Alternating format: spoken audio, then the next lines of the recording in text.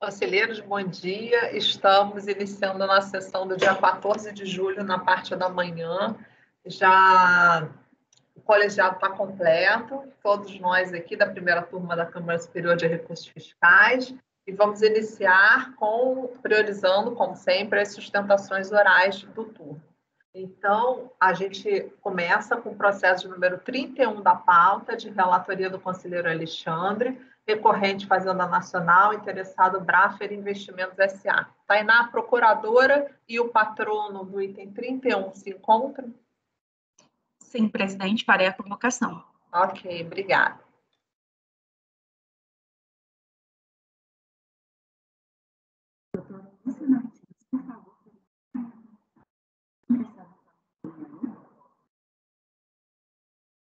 Doutor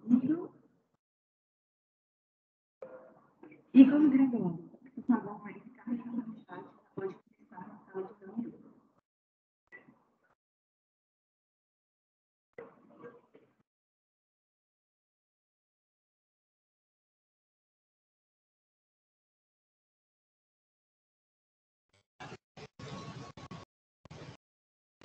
Doutor, bom dia, seja bem-vindo à bom nossa dia. turma, seja bem-vindo à nossa sessão. Vamos só aguardar a procuradora para o relatório inicial, ok? Ok. A procuradora chegou. Bom dia, doutora Lúcia, seja bem-vinda mais uma vez. É, vou pedir para o senhor deixar, ah, já está no mudo o microfone, peço aos conselheiros e demais conselheiros também que deixem no mudo para o relatório iniciar. Doutor Alexandre, você está com a palavra. Obrigado, presidente. Em primeiro lugar, bom dia a todos. Processo item número 31 já se encontra na pasta. T. Em relação ao arquivo de ontem, tem só algumas mudancinhas, então se alguém fez a cópia do arquivo de ontem, eu peço, por favor, que pegue a versão de hoje, tá? Então, primeiro vou fazer uma leitura do relatório. Então, trata-se de recurso especial em face de decisão do Acordo 301.004.206 de 2019, que, por maioria de votos, votou em dar provimento ao recurso voluntário para assegurar-lhe o direito de excluir a multa moratória sobre os débitos declarados em DECOMP após o prazo dos seus vencimentos, aplicando o Instituto da Denúncia Espontânea previsto no artigo 138 do CTN. Trago aqui a emenda. No caso concreto, a turma CO entendeu pela aplicabilidade da denúncia espontânea, previsto no artigo 138, no caso em apreço, cientificada aí é, da decisão, a Fazenda Nacional interpôs recurso especial alegando divergência jurisprudencial em relação à aplicação do 138, mormente a equiparação da compensação ao pagamento. A divergência foi admitida nos seguintes termos. Então, foi trazido aqui é, a emenda do acórdão recorrido, né?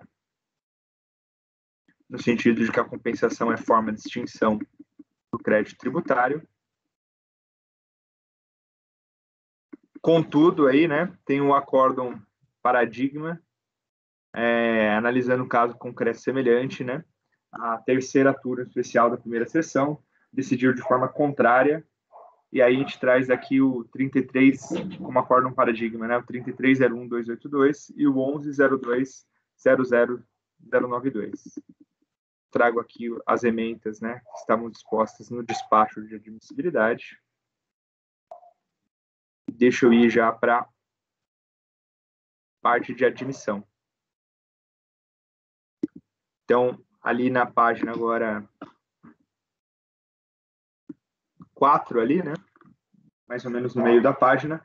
Pois bem, pelo exame dos trechos do acórdão recorrido transcritos na peça recursal, bem como do inteiro teor desse julgado, é possível verificar que a recorrente logrou êxito em demonstrar o pré-questionamento da matéria, pois a turma entendeu que, para fins do disposto do artigo 138, a extinção do crédito tributário via declaração de compensação tem o mesmo efeito que o pagamento, sendo incabível nessa situação a exigência de multa de mora sobre o crédito tributário. A recorrente demonstrou haver nessa matéria divergência interpretativa entre o acordo recorrido e o primeiro acordo apontado como paradigma, de fato, enquanto no acórdão recorrido entendeu-se que, para fins do disposto do 138, a extinção do crédito tributário via declaração de compensação produz o mesmo efeito, denúncia espontânea que o pagamento.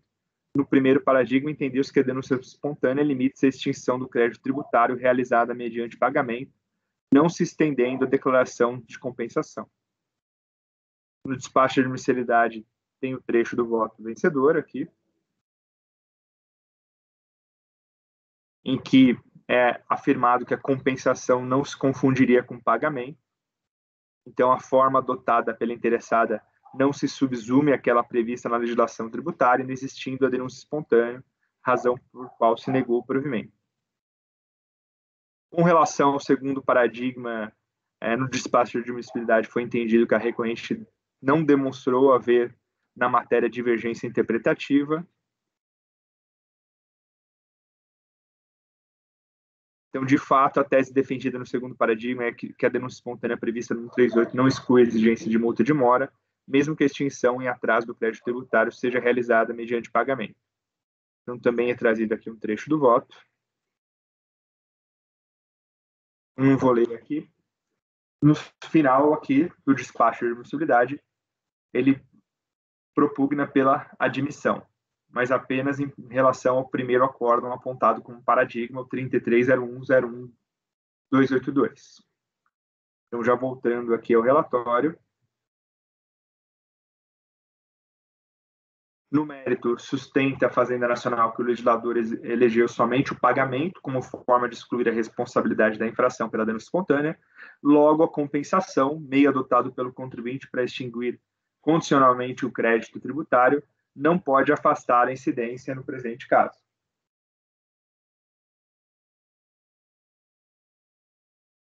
No caso dos autos, o contribuinte apresentou uma decomp como forma de extinção do débito tributário tendo a igreja turma, consequentemente, determinada a exclusão da multa de mora, sob a justificativa de que, quando transmitida a decomp, não havia qualquer procedimento prévio, incluindo a fiscalização ou confissão mediante DCTF. Sustenta que tanto o STJ quanto o CARF somente aplicam o Instituto da Denúncia Espontânea no caso de pagamento do tributo, indicando como funda fundamento os artigos 156 e 170 do CTN, além do 74 da Lei 9.430 de 96. Das normas citadas, verifica-se que a compensação e o pagamento constituem duas modalidades distintas de extinção do crédito tributário. Nesse, nesse contexto, desculpa, não cabe estender o benefício da denúncia espontânea para compensação, uma vez que o artigo 138 do CTN se refere tão somente ao pagamento. É o relatório, presidente. Ok, doutor, vou marcar seu tempo aqui, tá? Só tá me vendo, né? Aqui, ó. Pode começar.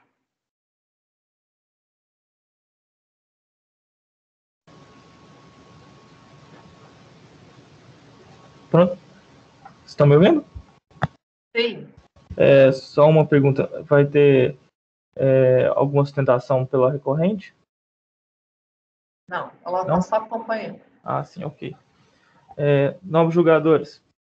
É, tentarei ser bem breve, só é, apontando questões pontuais aqui. É, como já demonstrado no relatório, trata-se de controvérsia relativa a abrangência do termo pagamento, é, disposta no artigo 138 do CTN, para que, que se equipare também à compensação é, com a aplicação da denúncia espontânea e consequente extinção da não, não exigência da, da multa moratória. Nesse sentido, é, o que será demonstrado é que, ao contrário do, do esposado no, no recurso especial com a devida vênia, existe jurisprudência de, desse colendo conselho administrativo no sentido de que deve-se ter um, uma interpretação mais ampla do vocábulo pagamento. Conforme pode se, se, se observar no o que foi esposado no acórdão número 91 01 003 687, proferido pela primeira turma da Câmara Superior de Recursos Fiscais, que, conheceu, que reconheceu a equivalência dos institutos da compensação e do pagamento. Neste, neste acórdão de relatoria do conselheiro Luiz Flávio Neto, discorreu-se a respeito de que esse pagamento seja é, seja interpretado também com a palavra adimplemento e não só como pagamento em dinheiro por si só.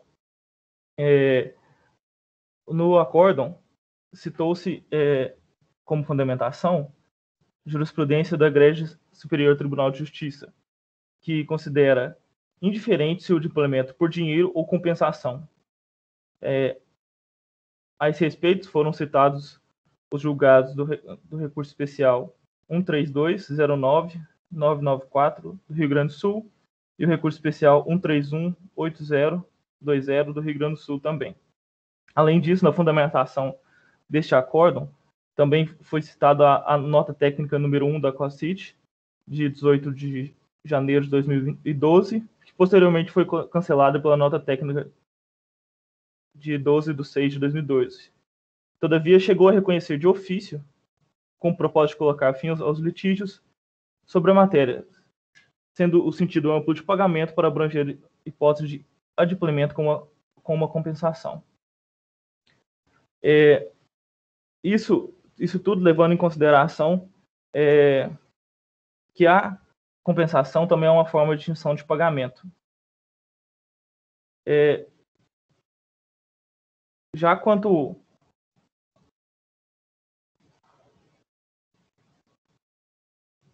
perdão, é, toda essa interpretação inicial foi levada em consideração a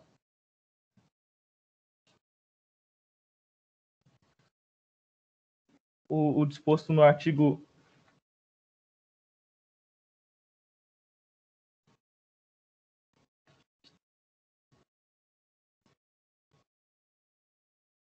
Perdão, silêncio. Retornando, é, o STJ, o STJ também tem entendimento de interpretação ampla, ampla caracterizada pela donância espontânea, independente se mediante de dinheiro ou compensação. É, essas decisões do Egreja STJ foram feitas no, pela primeira e segunda turma, pela segunda turma nos embargos de declaração no agravo regimental no RESP 137 5380 de São Paulo, pelo qual leio o trecho que especifica essa questão de independência de adimplemento por dinheiro ou por compensação de tributos. Abre aspas. Verifica-se estar caracterizada a denúncia espontânea, pois não houve constituição do crédito tributário, seja mediante declaração do contribuinte, seja mediante procedimento fiscalizatório do fisco, anteriormente ao seu respectivo pagamento, o que, em caso, se deu com compensação de tributos. Além disso, também o agravo, o agravo regimental 131, agravo regimental, um recurso especial 113.6372 do Rio Grande do Sul, pelo qual leio também trecho que especifica essa questão. Caracterizada a denúncia espontânea, quando efetuado o pagamento do tributo, do tributo em guias DARF e com a compensação de vários créditos mediante declaração à Receita Federal, antes da entrega das DCTFs e de qualquer procedimento fiscal, as multas moratórias ou punitivas devem ser excluídas.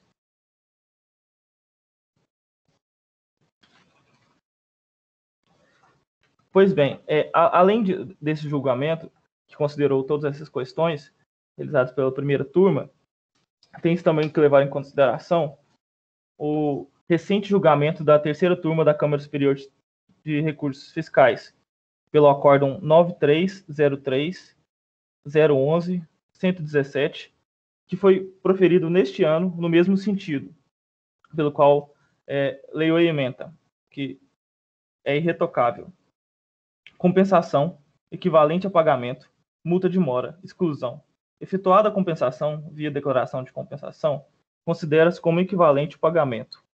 É de ser afastada a cobrança da multa moratória nos casos de transmissão da DECOMP a desse tempo, mas antes do início do procedimento fiscal, como é o caso dos presentes autos.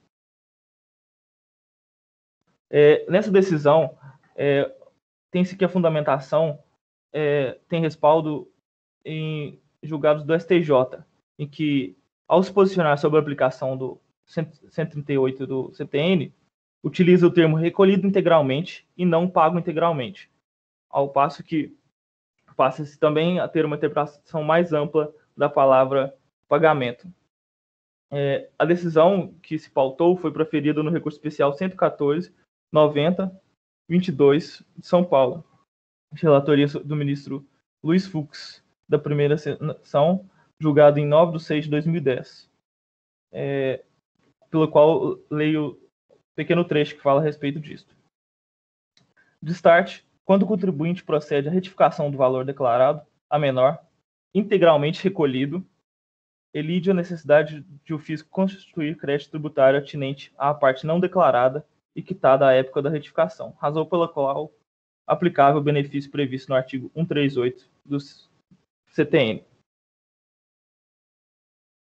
Desse modo, neste julgamento da terceira turma, concluiu que a compensação tem o mesmo efeito prático e jurídico do recolhimento. Ambos surtem efeito imediato de extinção do crédito tributário e estão sujeitos igualmente à homologação pela autoridade fiscal. É, excelência, vejam bem, pelos esses dois julgados, demonstra que o acórdão recorrido está é, de acordo com a, a jurisprudência desta, desse conselho administrativo, é, motivo pelo qual sustento pela manutenção do acórdão recorrido, sendo negado provimento ao recurso especial interposto. Obrigado. Pode continuar, relator.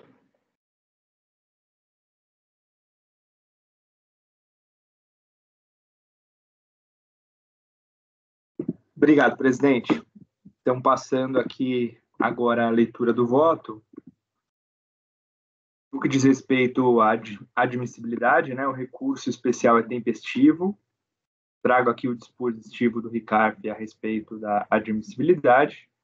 O, conforme já foi feito no despacho de admissibilidade, né, o cotejo do acórdão paradigma demonstra a divergência citada.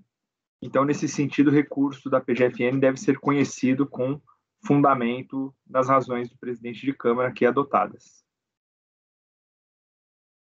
É, admito aqui o recurso. Já passando a análise de mérito, então a discussão diz respeito à caracterização da denúncia espontânea, na hipótese em que o contribuinte inclui o débito denunciado em pedido de compensação. É, em uma acepção ampla, né, a compensação, enquanto modalidade de extinção do crédito, teria o mesmo efeito de pagamento conforme bem indicado pelo ilustre conselheiro Caio Quintela nos autos do processo de número tal acórdão 9101005-420, com efeito, inúmeras normas de direito tributário equiparam pagamento à compensação em todos os seus efeitos. Dessa forma, temos inicialmente que considerar o artigo 156 do CTN arrola ambas as hipóteses como forma de extinção, sem fazer qualquer distinção entre elas, Nessa esteira, o próprio parágrafo 2 do artigo 74 da Lei 9.430, que regula a compensação por decom, dispõe que a compensação declarada à Receita Federal extingue o crédito tributário sob condição resolutória de sua ulterior homologação. Note-se, no que tange aos tributos sujeitos por homologação, o parágrafo 1 do artigo 150 do CTN traz previsão muito semelhante ao regular, ao regular o seu recolhimento, pagamento antecipado, rezando que o pagamento antecipado pelo obrigado, nos termos desse artigo, extingue o crédito sob condição resolutória da ulterior homologação do lançamento. Ambos normativos atribuem os mesmos efeitos e as mesmas condições para ambas as modalidades de quitação tributária. É, aqui eu trago um trecho de um artigo do antigo conselheiro Carlos Daniel, que basicamente ele vai falar um pouquinho é, desse histórico né, e de como são os julgamentos do CARF aqui sobre o tema. Então, a partir da análise de tal cenário, nota-se que tanto o pagamento propriamente dito quanto a compensação por decompo de tributos sujeitos à homologação são igualmente condicionados às mesmas regras de verificação fiscal, possuindo a mesma, mesma hipótese resolutiva e logo alcançam o mesmo grau de certeza creditória. Assim, entendo que deve ser feita uma interpretação ampla da expressão pagamento, conforme consta no artigo 138 inclusive abarcando a compensação, dado que ela se coaduna à teleologia da norma jurídica indicada. Considerando que o legislador tributário concedeu diferentes modalidades de adimplemento da obrigação, quer nos parecer que não era objeto do legislador, na instituição do artigo 138, em análise histórica e teleológica, restringir as possibilidades de adimplemento da obrigação tributária na hipótese legal do 138, tendo em vista que a compensação tem o condão de extinguir o crédito tributário, ainda que sob condição de posterior homologação e desde que feita antes de qualquer procedimento fiscal, a interpretação a ser dada deve se adunar com as finalidades almejadas pelo próprio 138. Ante o exposto, voto por negar provimento ao recurso da Fazenda Nacional. É como voto. Ok, conselheira Delia. Presidente, posição conhecida do provimento ao recurso da Divirge, do provimento ao recurso da PFN, entendimento do unânime dos ministros do STJ. Conselheira Lívia. Estão é, me ouvindo? Sim. Tá. É também, também posição conhecida, é, esse CAF até 2018 julgava que, que era, era pacífico na Câmara Superior, dando espontânea compensação era aceita. Isso mudou em 2018, passou a ser julgado uh, contrário né, à tese. O STJ, da mesma forma, até 2016, julgava que valia, dando espontânea poderia ser, ser reconhecida via compensação. Mudou a segunda turma, 2017, agora mudou é, também o, a primeira, se não me engano, a terceira, primeira, a primeira sessão. Mas quando, quando tem esse, essa, esse swing, né, vai, não vai, eu acho que a não ser que venha um entendimento vinculante, do mesmo jeito que pode voltar antes do STJ, ou pode voltar o CAF, a jurisprudência anterior, é, a gente não é vinculada ao STJ da forma como está, e acho que nem deveria se, se, se, considerar vinculado nesse, porque o próprio STJ pode mudar de ideia, já mudou uma vez, por que não mudar de novo?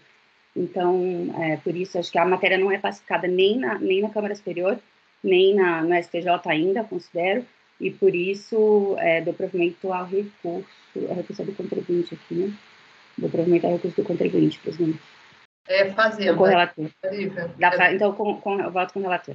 Ok. Com o relator. Leiro Fernando, como vota? Presidente, eu participei do, do recorrido, né? E aqui já na Câmara Superior eu, eu expliquei que ante a insistência agora do STJ, né, que confirmou novamente aí em junho do ano passado, entendimento unânime dos ministros, ainda que não vinculante, quanto à não aplicação da denúncia espontânea nesses casos de compensação, é, eu vou seguir o entendimento, embora né, com as minhas ressalvas, eu vou seguir o entendimento que o STJ vem proferindo nos últimos julgados e acompanho a divergência da conselheira Deli. Ok. Conselheiro Tozelli, como vota? Eu acompanho o relator, presidente, sem mais delongas. Conselheiro Matozinho, como vota? Com a divergência, acompanhando a jurisprudência predominante do STJ. Conselheiro Caio, como vota? Ah, presidente, eu acompanho o relator, inclusive até agradeço pela menção feita no voto dele. Ok. Eu vou acompanhar a divergência. Então, nesse caso aqui, é voto de qualidade foi dado provimento ao recurso vencidos o relator, Lívia, Tozelli e Caio, certo? Posso, doutora Edeli, posso contar com a senhora para o voto vencedor? Ok. Doutor, muito obrigada pela sua participação. Até a próxima. Muita saúde aí, tudo de bom. Excelência. É, só um momento, pode só repetir o, o resultado do julgamento? Foi. Foi por voto de qualidade, tá? Do provimento ao recurso da Fazenda vencido o relator, Lívia, Tozelli e Caio. Voto vencedor da doutora Edeli. Obrigado. Tudo de bom, até a próxima. Até a próxima. Bom dia. Bom dia.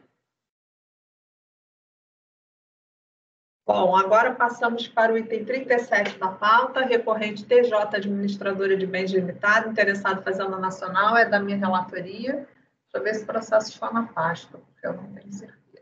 Tainá, o patrão se encontra? Ah, está lá no, tá na pasta.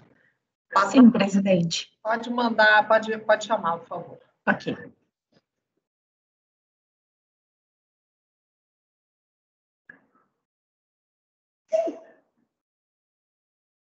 Então, 37 páginas de portal, o processo será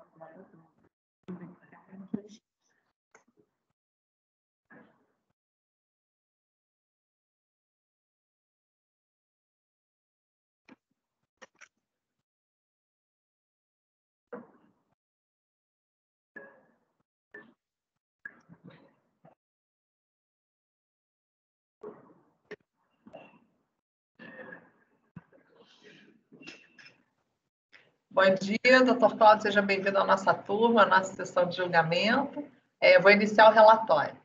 Trata-se de recurso especial do contribuinte interposto em face do acórdão 301-002197, é, foi em 2017, por meio do qual o colegiado, por unanimidade de votos, negou o provimento ao recurso voluntário. A decisão foi integrada em sede de embargos pela declara, de, de declaração pelo acórdão de folhas 1239 sem efeitos infringentes processo trata de alta de infração e RPJ, CSL, PIS e COFINS decorrente de receitas escrituradas e não declaradas no ano de 2007. O contribuinte era optante pelo lucro presumido e a autoridade entendeu ter havido evidente intuito de fraude, razão pela qual as infrações foram qualificadas como 150%. Então, eram receitas de prestação de serviços de locação administração de imóveis, escriturados e não declaradas, receita bruta de produtos de fabricação própria, escriturados e não declarados. Para a ciência das autuações, contribuinte apresentou impugnação, então os termos da impugnação da DRJ. A DRJ Curitiba considerou a impugnação improcedente, é, firme na premissa de que a escrituração contábil da receita bruta é prova inequívoca perante processo administrativo. Ele apresentou recurso voluntário e a 1301 por unanimidade de votos, negou o provimento ao recurso, com a emenda que abaixo aqui eu transcrevi. Com a ciência, o contribuinte apresentou embargos sob a alegação de que o acordo padeceria de omissão e obscuridade. Os embargos foram parcialmente admitidos pelo despacho de folhas 1231 em relação à alegada obscuridade. Em 15 de agosto foi proferido o acordo de embargos, a emenda eu abaixo transcrevi aqui é, cientificado da decisão, o contribuinte apresentou recurso especial, no qual alegou divergência jurisprudencial em relação à inexistência de prova da materialidade do fato gerador e inexistência de evidente intuito de fraude. O recurso foi apreciado pelo despacho de admissibilidade, que lhe deu parcial segmento apenas quanto à matéria e inexistência de evidente intuito de fraude. Contra a decisão, o contribuinte apresentou agravo que foi parcialmente acolhido para dar seguimento à matéria inexistência de prova da materialidade do fato gerador, possibilidade de escrituração só comprovar a materialidade do fato gerador, negando seguimento a outro argumento suscitado para o mesmo tópico relativo à inexistência de materialidade do fato gerador, possibilidade de notas fiscais avulsas desprovidas de comprovação do efetivo recebimento dos valores nela consignados. A Fazenda Nacional, com a ciência dos acordos, apresentou contrarrazões pugnando pelo não conhecimento e alternativamente pela manutenção do acordo recorrido é o relatório. Doutor, vou marcar seu tempo aqui. O senhor está enxergando? Peraí. Tá? Pode começar. Perdão, tem, tem um vídeo. 15 minutos. Tem um vídeo no YouTube. Ah, um vídeo. Isso. Eu vim só acompanhar. Ah, então peraí só um minutinho que eu vou voltar aqui e vou, vou botar o vídeo. Fernão, vídeo no YouTube.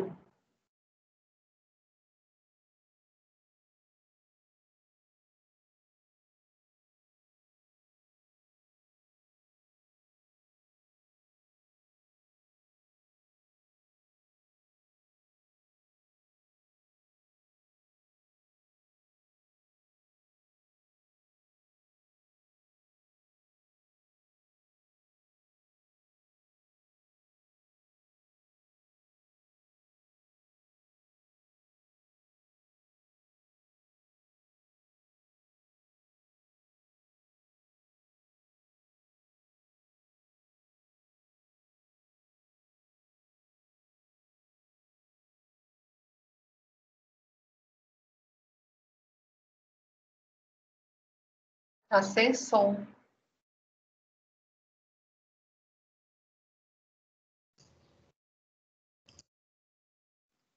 Talvez porque o seu microfone está fechado, Fernando.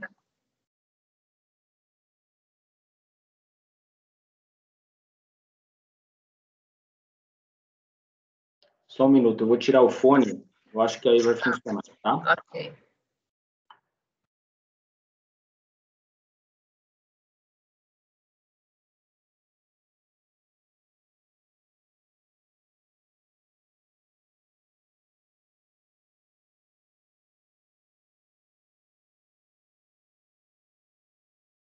Não.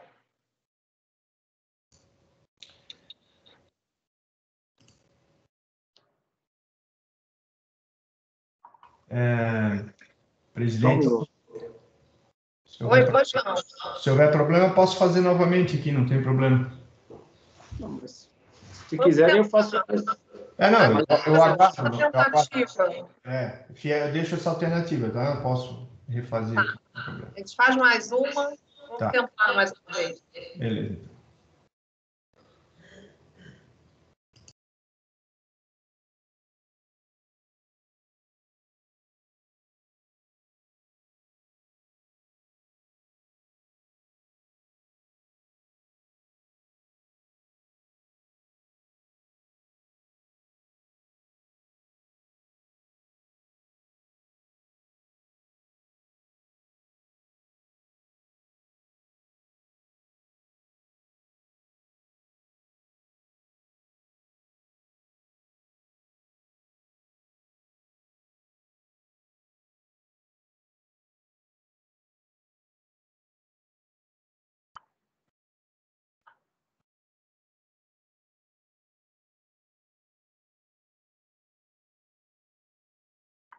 Tentar, tá, presidente? Vamos tentar.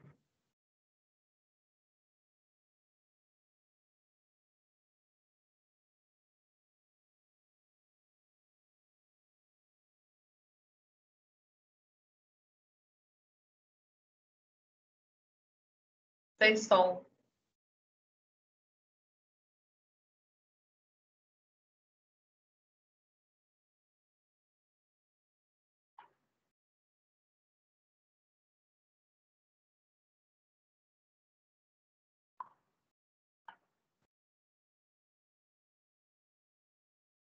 É, doutor? Presidente, realmente eu não sei o que está acontecendo aqui. Eu tirei o fone para ver se funcionaria, mas ele está dando uma. Pode Oi. acontecer alguma intercorrência com o vídeo, isso, isso já aconteceu algumas vezes na turma. Então, se o senhor, eu abro aqui o espaço, o senhor pode fazer sua sustentação. Zerar aqui, tá? Ok, não, é rápido, eu acho que Ok. quatro minutos no máximo. Ah, estão me ouvindo bem? Então, vamos lá. Vamos lá. Obrigada, hein? Nada. É, bom dia a todos, né? No, todos os conselheiros e conselheiros dessa igreja primeira turma. Eu trato aqui do item 37, falo em defesa da recorrente TJ Administradora de Bens Limitada. O recurso, como a, a relatora já, já colocou, foi admitido para julgamento de dois pontos. A inexistência da prova da materialidade do fato pela insuficiência probatória da escrituração contábil por si só, se- sem é, o respaldo de documentos. Subsidia- Subsidiariamente, o descabimento da multa qualificada por inexistência de intuito de fraude. O acordo paradigma relativo ao primeiro ponto desse recurso especial afirma a favor da Fazenda Nacional que o registro contábil por si só não se constitui em elemento suficiente para determinar o critério material do fato gerador. Sendo que o acordo aqui recorrido afirma também em favor da Fazenda Nacional que a escrituração contábil da Receita Bruta é prova inequívoca perante um processo administrativo federal, fecha aspas, sem a existência eh, da prova dos fatos. A contabilidade, o acordo recorrido defende que a contabilidade é suficiente por si só. O acordo paradigma desse primeiro ponto está aguardando a apreciação dos recursos especiais do procurador e do contribuinte. A decisão deste caso provavelmente repercutirá no julgamento do acordo paradigma. Nosso pedido é para que essa igreja turma decida se a contabilidade possui autossuficiência probatória, sem precisar de documentos que provem os fatos ali registrados, o que formaria um entendimento perigoso contra a própria Fazenda Nacional, ou se a contabilidade não possui autossuficiência probatória, implicando automaticamente a anulação do que restou eh, do auto de infração aqui recorrido, porque uma partezinha já foi parcelada. É, em suas razões, a contrarrazões, a Fazenda sugere que o objetivo deste recurso especial seria o revolvimento do conjunto fático probatório. Não há dúvida que o julgamento de qualquer matéria de direito pressupõe conhecimento dos fatos, porém, conhecer os fatos não significa necessariamente revolver os fatos. Com todo respeito, essa afirmação não cabe contra esse recurso. A questão é eminentemente de direito, isso está muito claro na petição.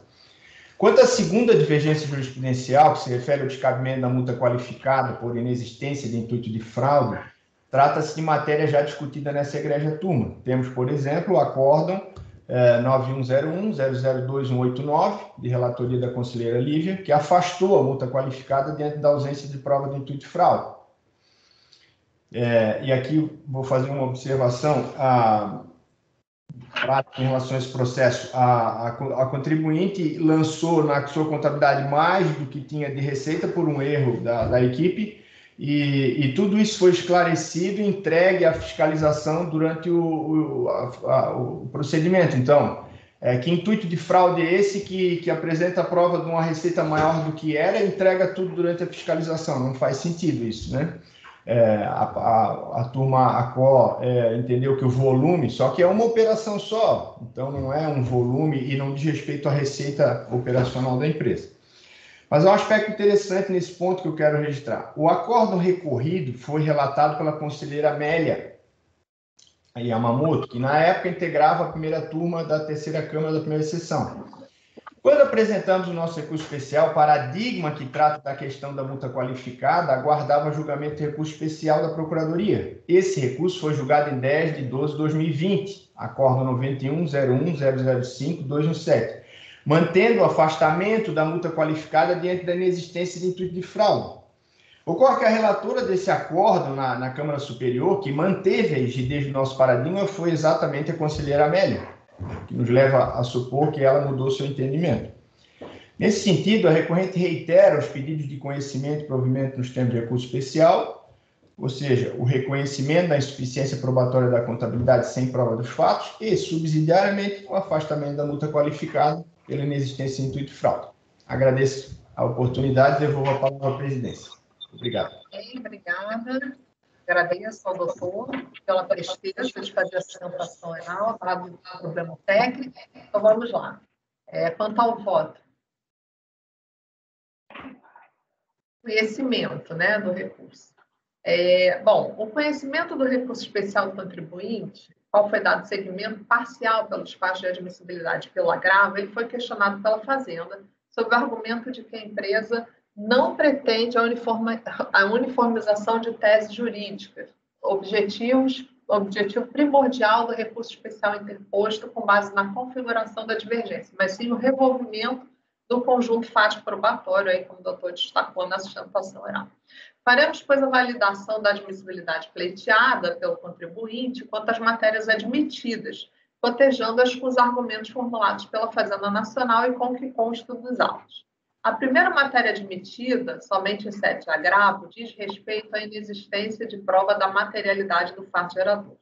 Aduz a recorrente que apenas promoveu a transferência de resíduos de pedra de seu terreno baldio para um aterro na obra da empresa coligada, sem qualquer propósito econômico, mas para servir como contrapartida a um financiamento que outra empresa do grupo pleiteava junto ao BRDE, Banco Regional de Desenvolvimento Extremo Sul, alega a interessada que, por erro, foram lançados na contabilidade os valores de notas fiscais avulsas de sua emissão relativos a essas operações. De sorte que restou escriturado um montante de R$ 5.241.071,50. Diante desse cenário, pretende a recorrente questionar a necessidade de prova da materialidade do fato gerador, por entender que não há documentos que suportam a transferência onerosa das pedras, dado que não havia propósito econômico na operação. Apresenta como paradigmas um 40200161 e um 30200305. O primeiro paradigma diz respeito à autuação por presunção de omissão de receita de valores entregues por sócio à empresa o que configurou o suprimento de caixa, conforme emenda a seguir. Transcrevo. Com a devida vênia, salta aos olhos de que inexiste qualquer semelhança fática entre o recorrido e o primeiro paradigma. São situações absolutamente distintas e que não se prestam à demonstração da divergência suscitada. Então, como eu, eu, eu de início, quando eu faço o exame de admissibilidade, é, no, no, caso do conhecimento, eu procuro é, vislumbrar os contextos fáticos, eu vejo que nesse caso aqui eles já, já são dissonantes.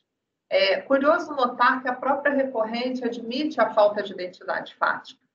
Embora esse primeiro paradigma trate de uma questão fática geral diversa daquele processo, né, negritei, e mais, qualquer decisão que viesse a ser proferida no âmbito desta Câmara Superior teria que obrigatoriamente reexaminar as provas constantes dos autos, hipótese vedada em sede de recurso especial. Verifica-se, portanto, a ausência de interesse recursal, pois não há como alterar a análise acerca das provas já efetuadas pelo recorrido. Com efeito, o acordo recorrido analisou detidamente os documentos constantes dos autos e expressou, expressamente consignou, a título de conclusão, Dessa forma, o contribuinte em sede de fiscalização não logrou êxito ao tentar demonstrar que se referia a tal discrepância conforme acima relatado. É, a, a conselheira Amélia, ela fez todo um arrazoado, ela, a conclusão dela é sucinta, mas ela fez um arrazoado prévio e com todas as, as situações é, já vislumbradas até na, na, na própria DRJ. Assim, simplesmente não há como acolher o primeiro paradigma indicado como bem destacou o despacho de admissibilidade. Aí eu transcrevo aqui a parte que o despacho de admissibilidade já não, já não tinha aceitado. Melhor sorte não merece o segundo paradigma, indicado para a matéria, que é o 302.00.305.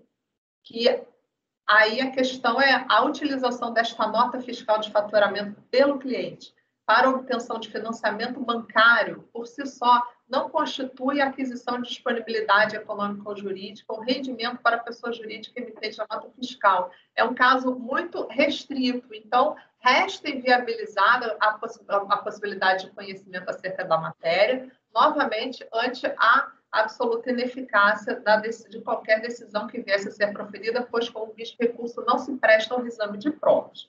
Ressalte-se ainda que o segundo paradigma também não há similitude fática ao caso até porque naquele julgamento sequer houve lançamento de omissão de receitas. Né?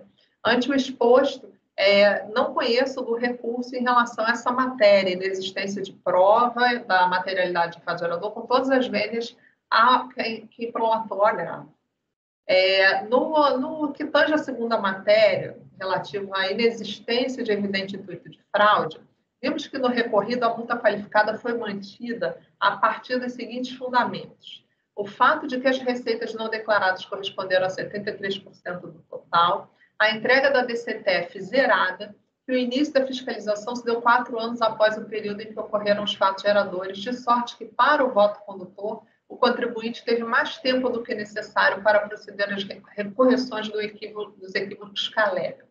Por outro lado, o paradigma indicado para essa matéria, o 1101, 0031 maneja as seguintes circunstâncias fáticas.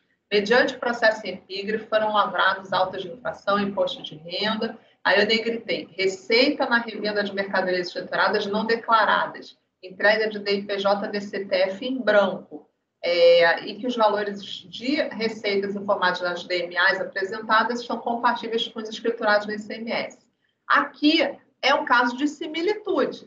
Né? Não temos identidade, mas é similar, apta a demonstrar a divergência, visto que os dois casos houve atuação por omissão de receitas escrituradas e não declaradas, os montantes omitidos foram significativos, aliados ao fato em que ambos foram entregues DCTF zerados. Pode ser DIPJ, mas também tinha DCTF ali.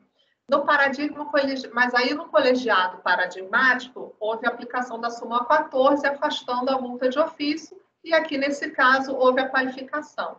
Então, aí eu entendi que formava divergência. Portanto, conheço parcialmente do recurso. É, querem botar o conhecimento? Melhor, né? Celeiro Deli. Acompanho, presidente. A, a, o primeiro paradigma, ele fala da insuficiência da, da escrituração, mas no âmbito de presunção de omissão de receita, né? ao contrário daqui, que a, que a acusação vem da, da extração das próprias receitas da atividades escrituradas, então não, não dá para comparar a valoração de escrituração numa presunção de suprimento numerário e numa, numa autuação de, de uh, eu reli aqui todo, toda a fundamentação do despacho de agravo e só essa, essa ponderação dissociada do contexto fático não permite de forma alguma cogitar como a 1402 decidiria essa alegação que está aqui nesse contexto. É, quanto ao segundo, eu tenho que concordar com o segmento, embora eu tenha participado do 1101-001-131, a minha declaração de voto foi no sentido de que ali a, a, a, não, a, a qualificação da penalidade não caberia por vício de motivação, né, não em razão das circunstâncias fáticas ali específicas, mas eu fui a única que votei pelas conclusões, né, o que prevaleceu foi o voto o voto que veio da reiteração do voto da DRJ, que, que caracteriza a, a, a divergência aqui, como a senhora bem pontuou, por isso acompanho. Conselheira Lívia, voto conhecimento. É, além dessa divergência de valoração de prova, né, que é bem sensível para explicar, eu acho também, é, mas que a relatora foi muito feliz em explicar, eu acho que também tem a questão de, da, da insuficiência, porque a, a, a embora ela não tenha o, o, recorrido, né, embora ele tenha falado essa afirmação de que a escrituração contábil basta, depois ele passa e fala, os extratos e planilhas apresentados tentam justificar, mas isso já foi alvo, alvo de outro auto de infração. Então, essa documentação que você trouxe, não, eu, vou, eu não vou considerar aqui para demonstrar a falta da, da, tributação da parte contabilizada. Então, ela mesma, embora tenha afirmado que a contabilidade não faz, ela olha os documentos trazidos. Então, esse, esse argumento de que se eu derrubar essa frase que a escrituração contábil por si só não, não, não comprova a materialidade, mesmo assim o acórdão olhou. Então, esse argumento ele é insuficiente para reformar essa conclusão quanto a, quanto a essa matéria. Então, também por isso, eu, eu não conheço do recurso a relatora. Acho que só vou pelas conclusões, porque eu teria esse, esse argumento que é, é adicional, mas para mim é mais forte do que. Porque é, é para mim essa diferença de valoração é bem sensível, mais de explicar do que de, de saber, né? Mas e eu, eu iria por outro, por esse caminho da insuficiência. Conselheiro Fernando. Acompanhe, presidente. Conselheiro Pazelli. É, presidente, no, na, na, primeira matéria eu acompanho pelas conclusões, só porque me incomoda essa passagem que a gente não reexamina provas aqui. Se um ano de Câmara Superior, eu afirmo o contrário, o que a gente mais faz é acabar analisando prova. Eu não, acho que esse negócio. Segundo momento, tá? É, assim, eu acho. Tá começando aqui, né? É isso que eu quis dizer. não, não, não, não, ent... ah. perfeitamente entendido. É que eu acho que, na verdade, o argumento de ah, não reexaminamos provas, ele, na verdade, acaba envolvendo a dessemelhança fática, porque às vezes as provas levam o acordo a uma premissa que não está no paradigma, e aí eu vejo por dessemelhança a prova. É, contrário do STJ, que, que encontrou na, na impossibilidade de reexame prova uma saída para não ver recursos, eu acho que aqui na Câmara Superior a gente acaba sendo até muito mais flexível que no Judiciário, a gente faz isso o tempo todo. E concorda que também que não dá para comparar esse caso com o de presunção, e até dá para você falar que são convergentes, até as decisões, no sentido de que foi a contabilidade à base de tributação. Lá não comprovou o passivo que você lançou, apliquei a, o lançamento com base na contabilidade. E aqui, como você mesmo falou que escriturou a receita e não comprovou que houve erro, eu uso a contabilidade para autuar contra você também. Então, me parece que são convergentes. E a segunda é totalmente fática, né? Aquela nota fiscal para o cliente. E aqui eu vi que o voto até, inclusive, dá a entender que teve uma circularização na outra ponta e ele não mostra essa suposta duplicidade, que, a meu ver, deixa esse caso extremamente específico. E aqui realmente é, escolher um paradigma me parece tarefa quase que impossível. Bem específico o caso. Quanto segunda matéria, eu também lhe acompanho. É, então, resumindo, presidente, eu acompanho a senhora apenas pelas conclusões, não conhecimento da primeira matéria. Ok. Conselheiro Matozinho. Acompanha a relatora. Conselheiro Alexandre. Também acompanha a relatora. Conselheiro Caio. Com a relatora, sem ressalvas. Bom, então, conhecimento parcial por unanimidade pelas conclusões Lívia e Tozelli. Vou deixar assim, tá? Depois a gente arruma no, a conclusão conta a primeira matéria, né? Do, do, conhecimento. Então, na hora, depois a gente acerta. Então, conhecimento parcial por unanimidade, então vamos lá para o mérito. Mérito aqui, vou passar o que. É, vou para o evidente intuito de fraude, tá? Quanto à segunda divergência. É, como visto, cabe nos analisar se o evidente intuito de fraude restou configurado no presente caso, tal como adotado por unanimidade de votos pelo colegiado ACO para manter a qualificação da multa.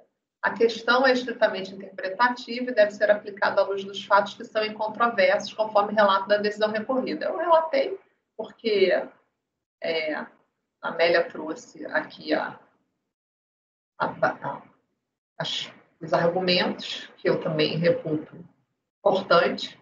É, a partir desse contexto fático, a qual o recorrido apresentou os seguintes fundamentos para a manutenção da multa qualificada, com base no evidente intuito de fraude, que é o ponto central em debate. Então, no que tange a desqualificação da multa, alega recorrente descuido na sua escrituração, agindo dessa forma com culpa e jamais com o intuito de dolo ou fraude. Já a decisão recorrida foi no sentido de que o dolo foi evidente, uma vez que a recorrente deixou de declarar receitas que efetivamente estavam estruturadas em sua contabilidade, o que consubstancia evidente sua negação com a intenção de causar dano à fazenda pública no propósito deliberado de subtrair no todo ou em parte uma obrigação tributária, em que pese a existência da súmula 14, que a simples apuração de omissão de receita e rendimento por si só não autoriza a qualificação da, da multa de ofício, a necessária comprovação do evidente de fraude do sujeito passivo.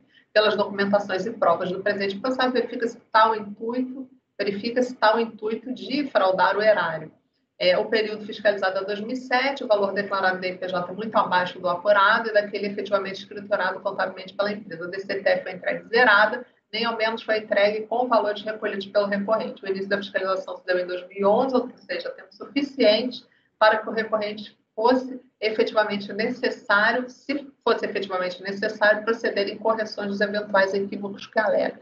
De se ressaltar ainda a proporção das receitas, aí ela traz aqui 73% não há como discordar da, da decisão proferida no recorrido. Parece-me inverossímil que a, a, tese suscitada pela recorrente é que houve mero erro por descuido na contabilidade quando se constata que mais de 70% das receitas escrituradas simplesmente não foram oferecidas à tributação. Conquanto a análise sobre o dolo necessário para a configuração da fraude seja de natureza subjetiva, no presente caso, há diversos elementos objetivos capazes de confirmar a conduta. É, a tentativa de sonegar tributo se pode ser entendido como descuido o fato de que a maior parte das receitas oferidas não foi declarada ou oferecida à tributação. Não se trata de empresa inativa ou inoperante, mas de entidade pertencente a um grupo econômico com diversos negócios e mesmo comando societário. Nem o contribuinte nem a empresa do grupo beneficiário da operação conseguiram demonstrar, embora devidamente intimadas, alegações, ausência de substância econômica ou duplicidade de registros equivocados. Parece pouco provável que a interessada tenha contabilizado em duplicidade dois valores que representam 70% de sua receita anual. Note, não se trata de números de lançamento, mas de apenas dois registros relativos a notas avulsas emitidas quando a transferência das pedras, achando dos montantes que eu transcrevi aqui. Quase 3 milhões, um, dois, quase 2 milhões e 300 no outro. Não é crível que esses dois valores supostamente registrados em duplicidade tenham passado desapercebidos pela contabilidade também não prospera o argumento de que a operação envolveu apenas resíduos de pedra cedidos à empresa coligada sem qualquer propósito econômico, quando se verifica que o montante escriturado na contabilidade foi de 5.241.071,50. Confirma o intuito doloso o fato da empresa ter apresentado DCTF zerada, ou seja, constados que interessados querem indicou ao fisco o valor de 2.846 as 31,93 devidamente apurado na sua própria DIPJ, também causa espécie o fato de que tais erros, sobre maneira relevante, não tenham sido objeto de verificação e correção dos anos posteriores. Todos esses fatos são mais que suficientes para demonstrar sem margem a dúvidas o evidente intuito de fraude, de sorte que andou bem a decisão ao afastar a incidência da súmula 14 dos autos, visto não se tratar de mera omissão de receitas, mas de um conjunto de condutas que, somadas, tiveram por objetivo subtrair parte significativa do montante tributável no período e que se amoldam ao teor dos artigos 71, 72, 73 da parte 502, que eu transcrevo aqui a seguir. Ante o exposto, também nego o provimento, né? conheço da, do, parcialmente do recurso, e na parte conhecida, nego o provimento, mantendo inalterada a decisão é, recorrida devidamente integrada pelos embargos. É isso. Com a relatora. Ah, só, só reitero, né, o paradigma eu votei pelas conclusões, porque embora a circunstância fática fosse semelhante Ali o problema era de motivação da qualificação da penalidade, porque não foram trazidos sequer referências né, das circunstâncias fáticas ali semelhantes a essas que justi para justificar a qualificação da penalidade.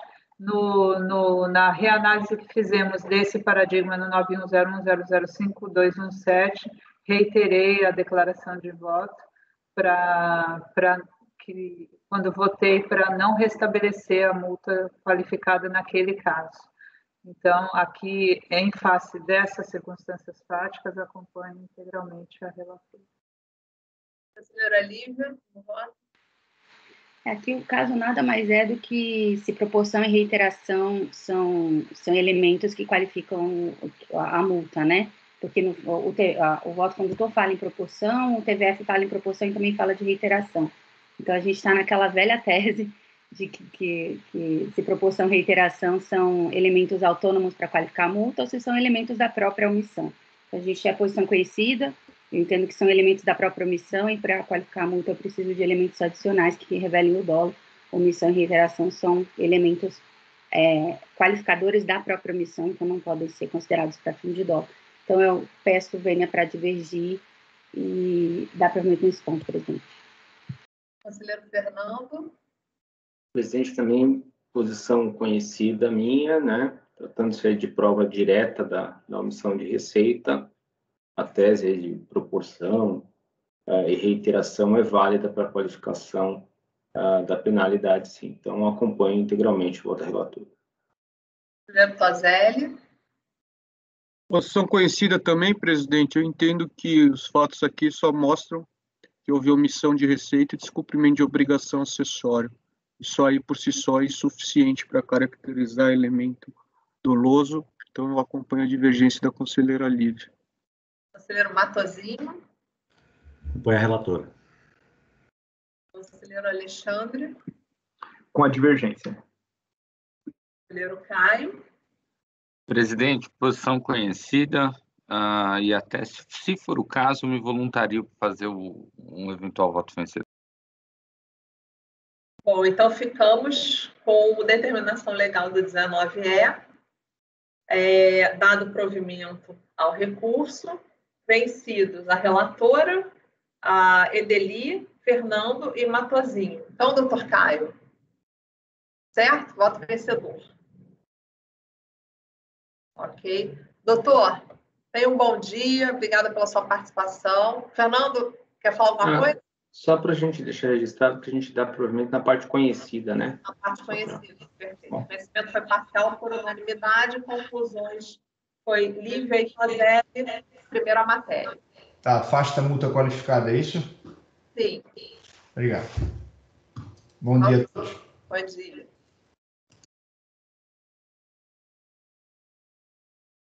Bom, passamos agora, conselheiros, para o item 39 da pauta de relatoria da conselheira Edeli, é, recorrente Glauciane Maria de Souza, interessado Fazenda Nacional. Tainá, o patrono se encontra?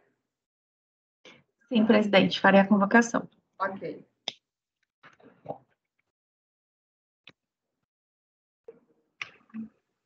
Esse, o, o 39, o 48 e o 49, eles são a mesma acusação fiscal, né? Só que eles ficaram separados.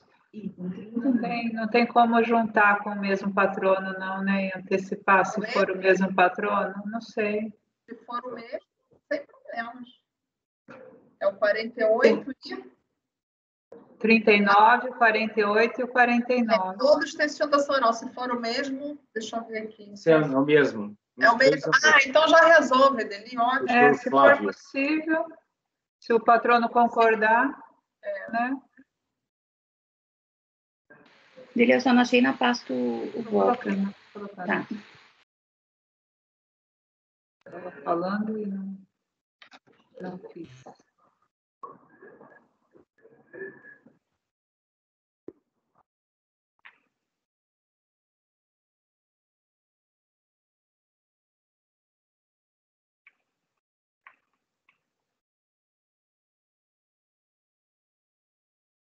Bom dia, doutor Fábio. A gente está com três processos é, com a, que o senhor é patrono. É o 39, o 48 e o 49.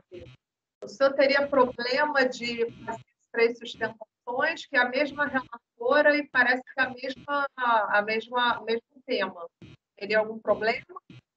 Não, presidente, poderíamos sim fazer julgamento com Tá. Vamos. E, alguns detalhes entre os processos, mas durante a sustentação, eu vou pedir, né, que pode ser que eu ultrapasse um pouco os 15 minutos regulamentares para um. Tá certo.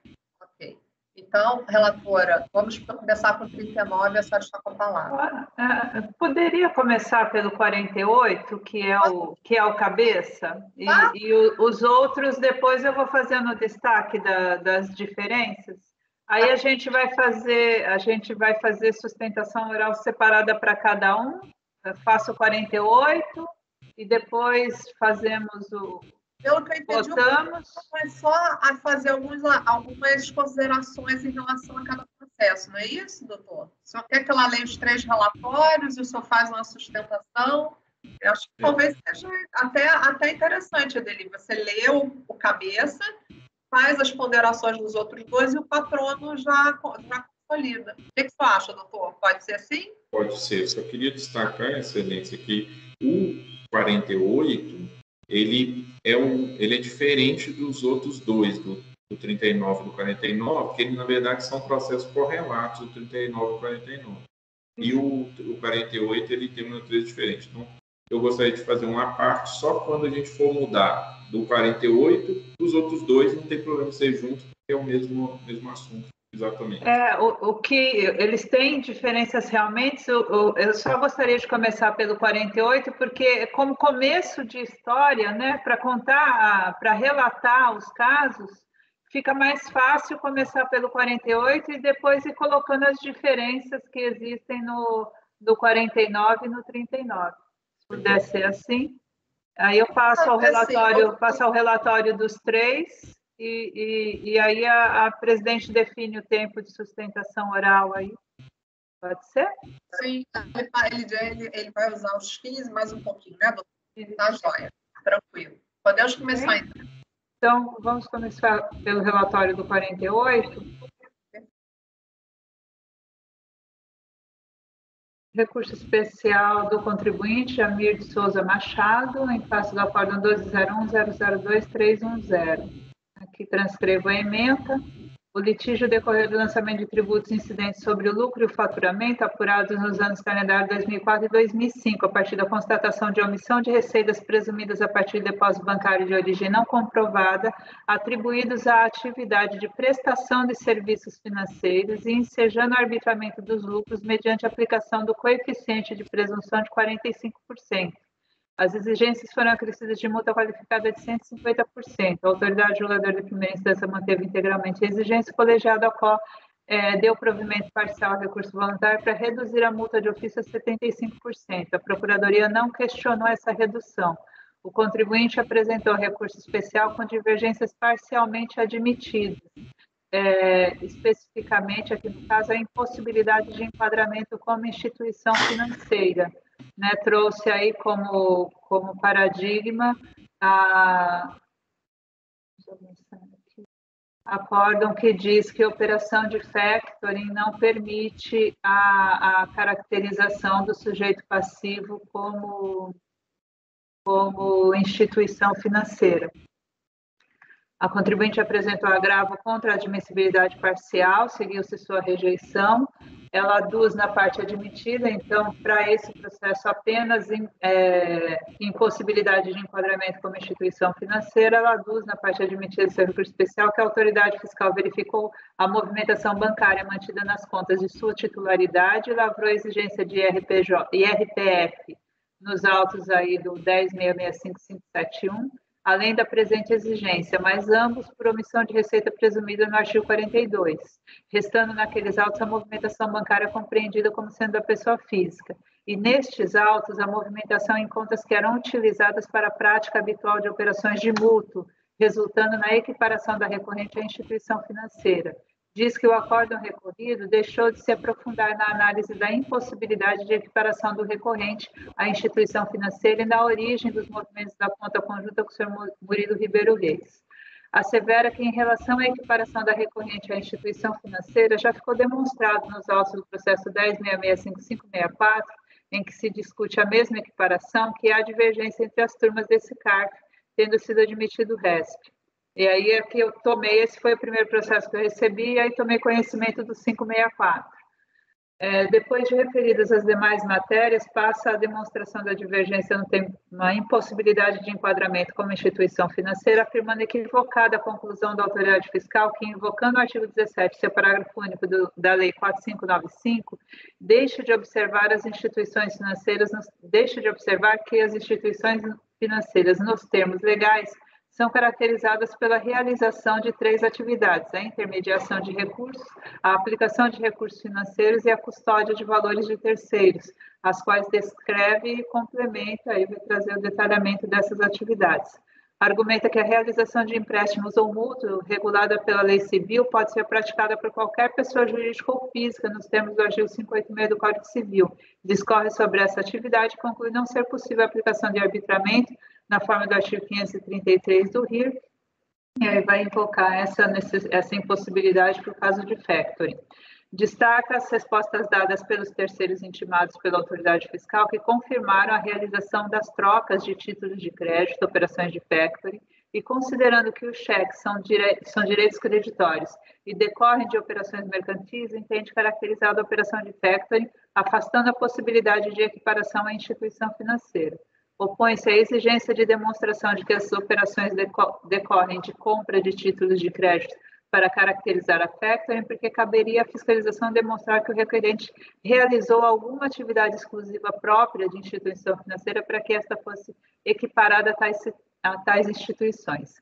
Ademais, na forma do artigo 42, parágrafo 4 da 9430, se o contribuinte não demonstrou a origem dos recursos, deveria ter sido autuado como pessoa física. Referido dispositivo não permitiria é, presumir que a receita omitida refere-se a alguma atividade específica, pelo contrário, expressamente exige que, ah, não na ausência de demonstração da origem, a receita seja tratada como de pessoa física.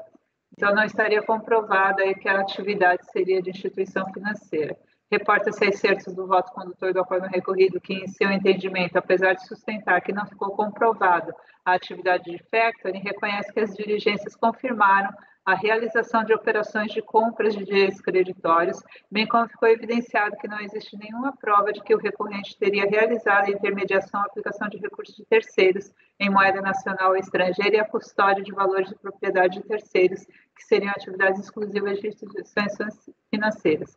Assim, sob a premissa de que o acordo recorrido adotou o entendimento de que, por realizar mútuo e não apenas compra de direitos creditórios, o recorrente deveria ser equiparado à instituição financeira e não à empresa de factoring, afirma a ilegalidade desse posicionamento e o dissídio jurisprudencial em face do 1402-442, segundo o qual as instituições financeiras não podem realizar trocas de cheques pré-datados, ao contrário do que constou na decisão recorrida de que as instituições financeiras também poderiam realizar tal atividade.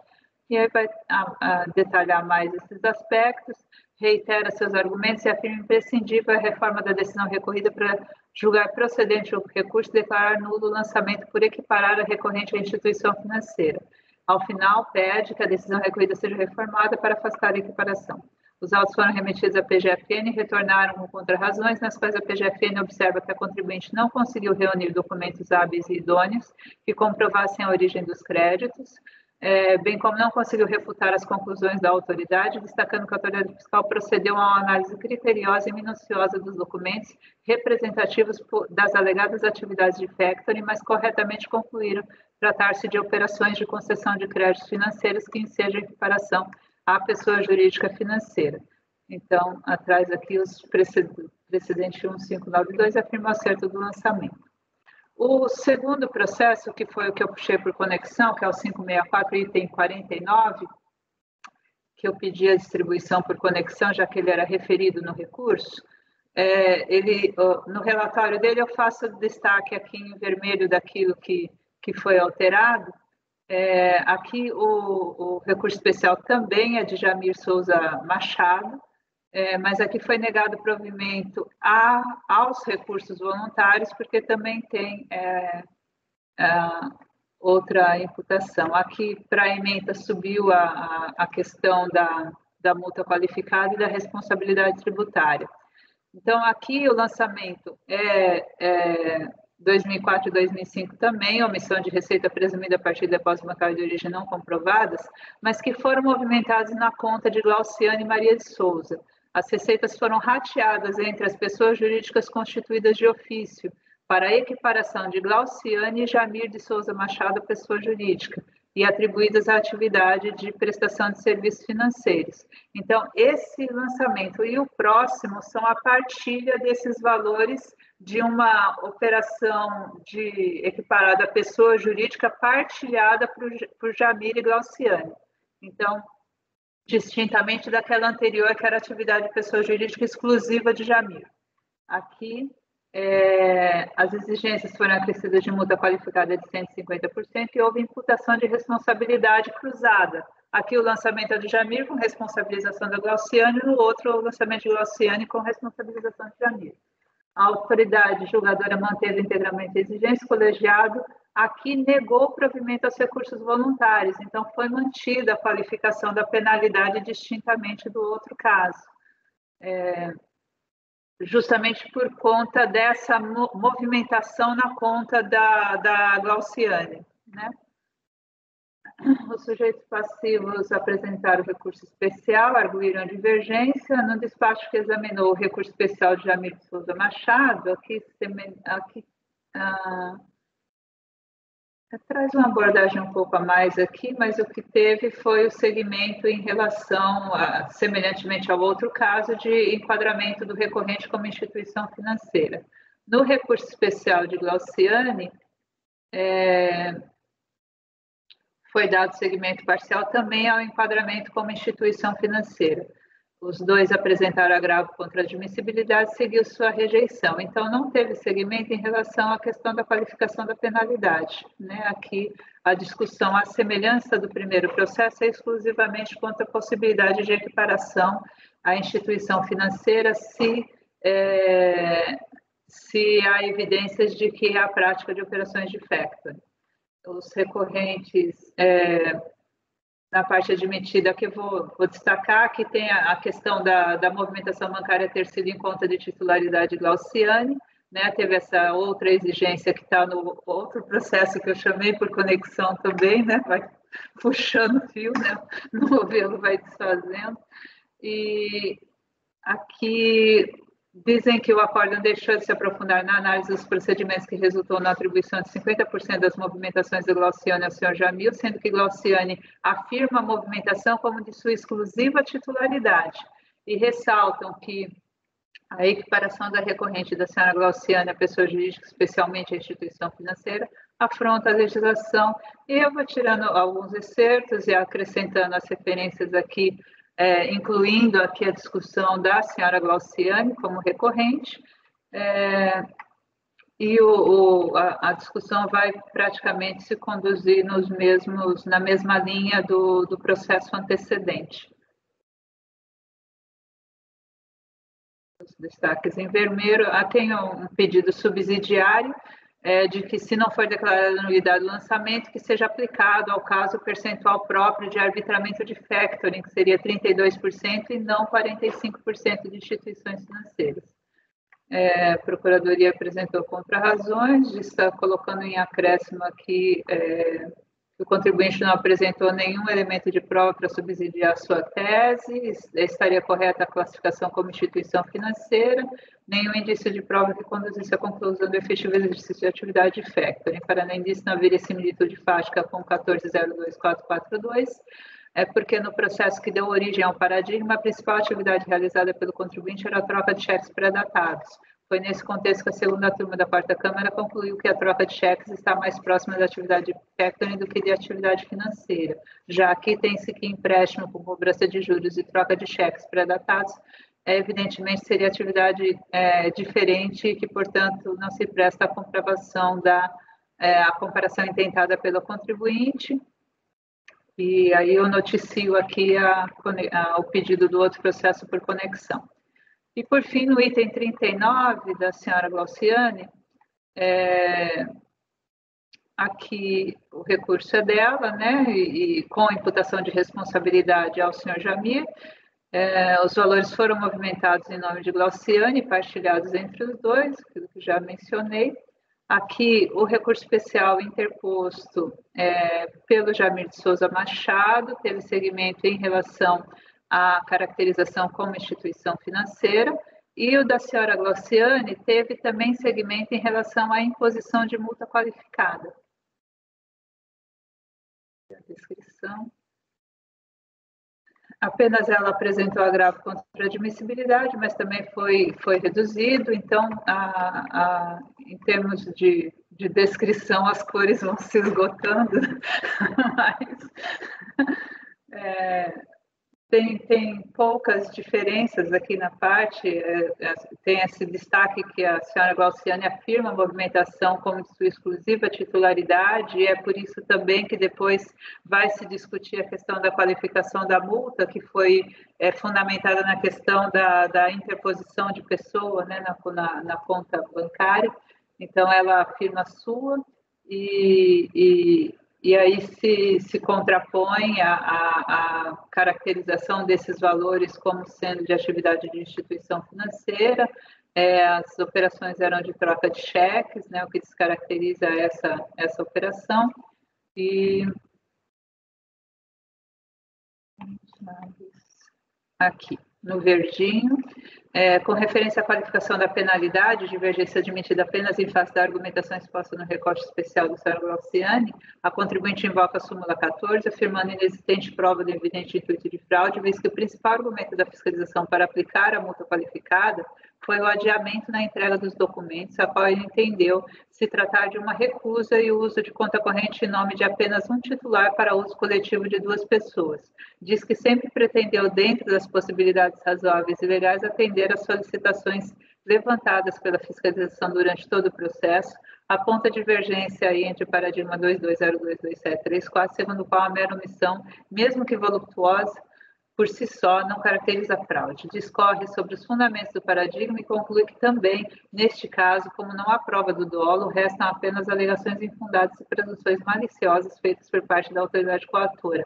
Reporta-se ao segundo paradigma, 1402.442, do qual destaca o entendimento é, aqui a respeito da troca de cheques, observa que, segundo o argumento utilizado pela fiscalização para a qualificação da penalidade consistente na utilização de interposta pessoa para fazer movimentações bancárias, restou prejudicado quando se entendeu ao final que parte da movimentação era do recorrente e parte do titular da conta corrente. Cito o 42, parágrafo 5 do 9430, para acrescentar que, se fosse constatada a interposição de pessoas, a fiscalização deveria imputar todos os rendimentos ao recorrente, o que não ocorreu finaliza invocando a súmula CARP 34 para concluir que somente é cabível a qualificação quando a omissão se dá por movimentação de recursos em contas bancárias de interpostas, pede que seja afastada a multa qualificada de 150%.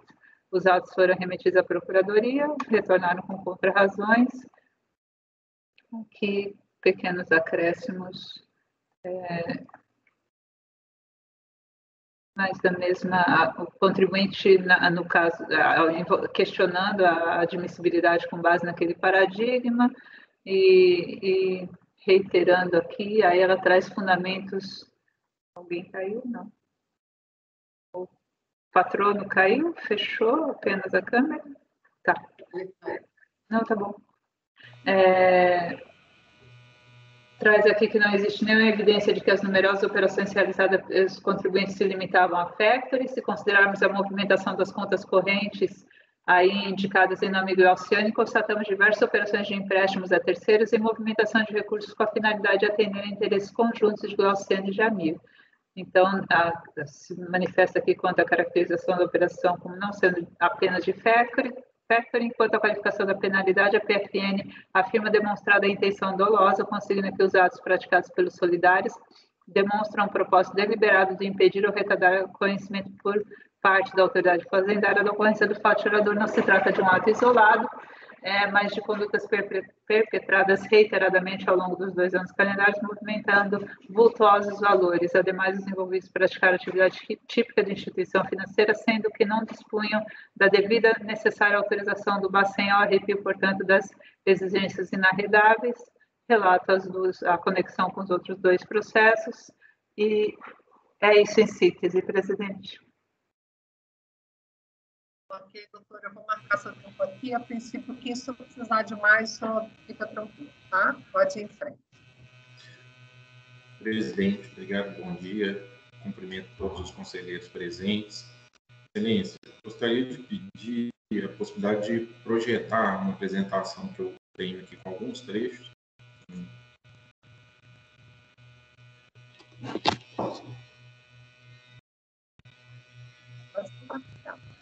Só um minuto.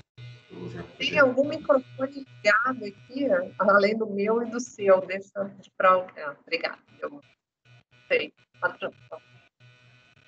Eu acho que é da doutora Lívia. Aqui, para mim, parece que o da Lívia estaria ligado. Estranho. Para mim também está ligado. Ah, agora desligou. Agora desligou.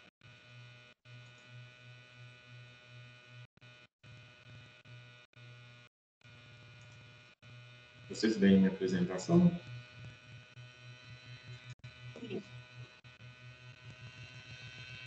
Então, conselheiros, é, a apresentação aqui está com o item 39 da pauta, mas o, os trechos que eu quero mostrar aqui eles são comuns aos três processos, não, não vai causar nenhum problema. O primeiro item proposto aí para a relatora em relação ao processo do senhor Jamir de Souza Machado, item 48 da pauta, o processo 10.665.000.570 de 2009-86. Nesse processo, as contas bancárias objetos da autuação são contas bancárias de titularidade do senhor Jamir de Souza Machado. E não há nenhuma vinculação desses movimentos com a senhora Glauciane de Souza Machado. Glauciane Maria de Souza, que trata-se dos outros dois processos, as contas dela. O senhor Jamir, nesse processo do item 48 da pauta, ele basicamente operava com troca de cheques, cheques de pequeno valor que ele recebia dos comércios, né, lojas, qualquer tipo de comércio existente na região onde ele atuava, descontava esse cheque com uma taxa de juros e entregava o valor à vista para o titular dos cheques, né? Então veja que o titular dos cheques não eram a, as pessoas que levavam o cheque não eram os emitentes do cheque, né? eram cheques pré-datados, 30, 60 até 90 dias de prazo para depósito. Então o senhor Jamir recebia esses cheques, aguardava um momento e depositava esses cheques em suas contas bancárias. Ou seja, esses cheques nunca foram depositados nas contas daquelas pessoas que efetivamente trocaram esses títulos de crédito. Então, foi essa movimentação desse depósito de cheques na conta do senhor Jamir que foi objeto da autuação aí do item 48. Esse esclarecimento ele é muito relevante porque quando se pega a movimentação das contas do senhor Jamir, se vê milhares de cheques depositados. Cheques de pequeno valor, que normalmente decorriam de comércio. Existem, dentre os movimentos bancários, algumas operações de maior valor que eh, foram identificadas como operações de mútuo direto, né, em que o senhor Jamir emprestou recursos para terceiros. Né? A decisão recorrida, ela busca caracterizar a instituição financeira porque o senhor Jamir fez esses empréstimos para terceiros de forma direta e não apenas a troca de títulos de crédito seria atividade própria né, de FECTA. É, nesse sentido, aqui eu vou buscar demonstrar aqui para Vossas Excelências que a instituição financeira ela não se caracteriza pela realização de empréstimos. As atividades que caracterizam a instituição financeira vão muito além disso e, basicamente, o que permite a diferenciação de uma instituição financeira e de uma FECTA é o fato da instituição financeira ter a possibilidade de trabalhar com recursos de terceiros. enquanto que a Factory ela trabalha exclusivamente com recursos próprios, o que é a situação que o senhor Jamir se encontrava, onde ele sempre trabalhou com recursos próprios. Tá?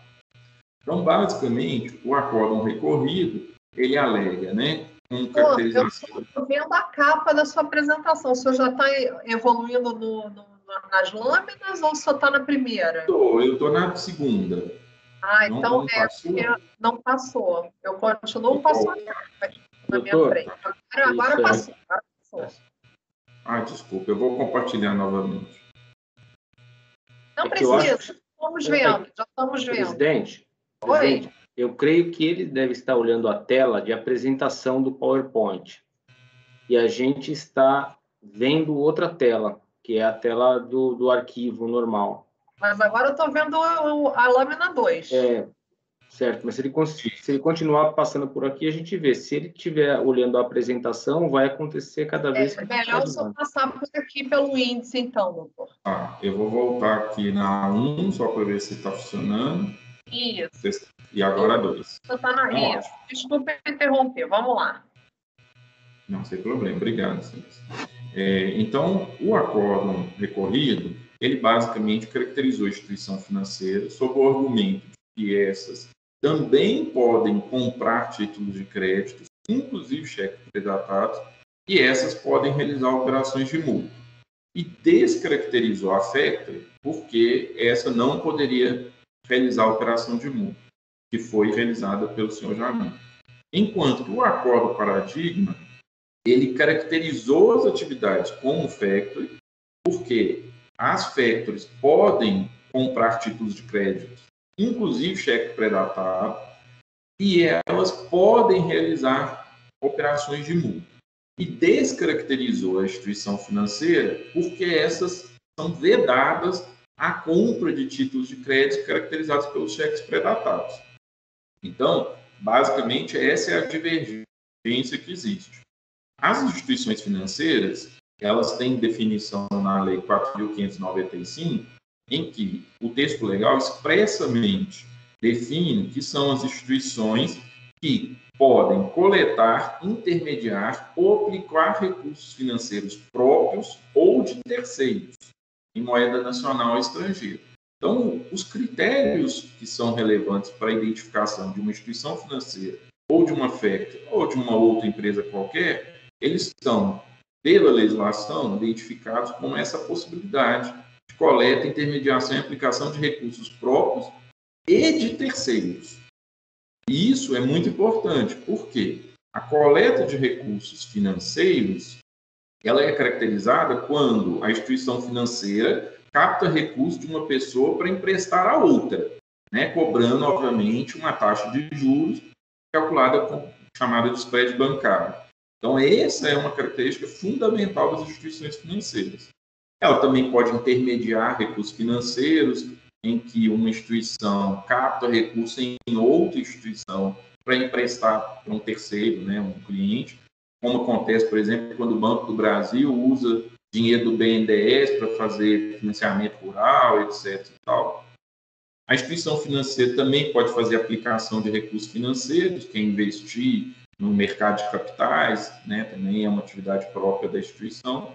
E o último, que é a custódia de valores, ou seja, a guarda, né, como o banco recebe e deposita em conta corrente a guarda de valores.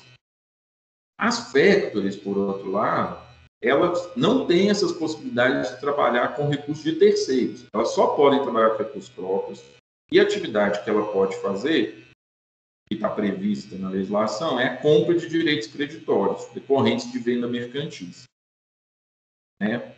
O, o acordo paradigma, ele inclusive esclarece essa diferenciação e demonstra quando se pode caracterizar a instituição financeira e quando não pode. Eu vou pedir licença para ler esse pequeno trecho aí, eu até, inclusive, entreguei memorial para Vossa Excelência também. Não se pode confundir a captação e a intermediação ou aplicação de recursos financeiros próprios de terceiros, que são atividades privativas das instituições financeiras, com a troca de cheques predatados realizada de forma informal por pessoas físicas e jurídicas.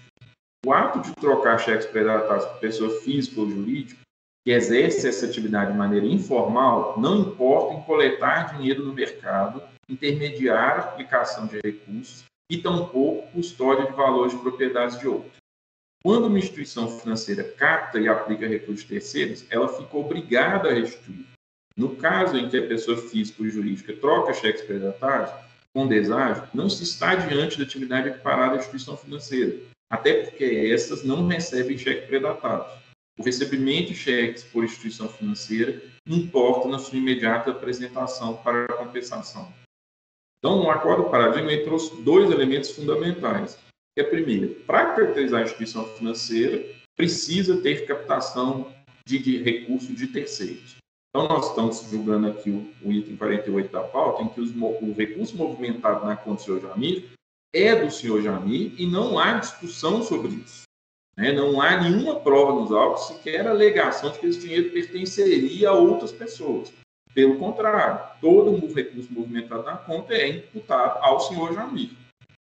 Então, nessa situação, não é possível caracterizar a principal característica da instituição financeira, seria a captação de recursos terceiros. É importante lembrar que a fiscalização rigorosa que existe nas instituições financeiras decorre justamente dessa possibilidade de captar recursos terceiros, para evitar né, que se capte recursos e isso venha trazer prejuízo para as pessoas que disponibilizaram esse recurso para a instituição financeira.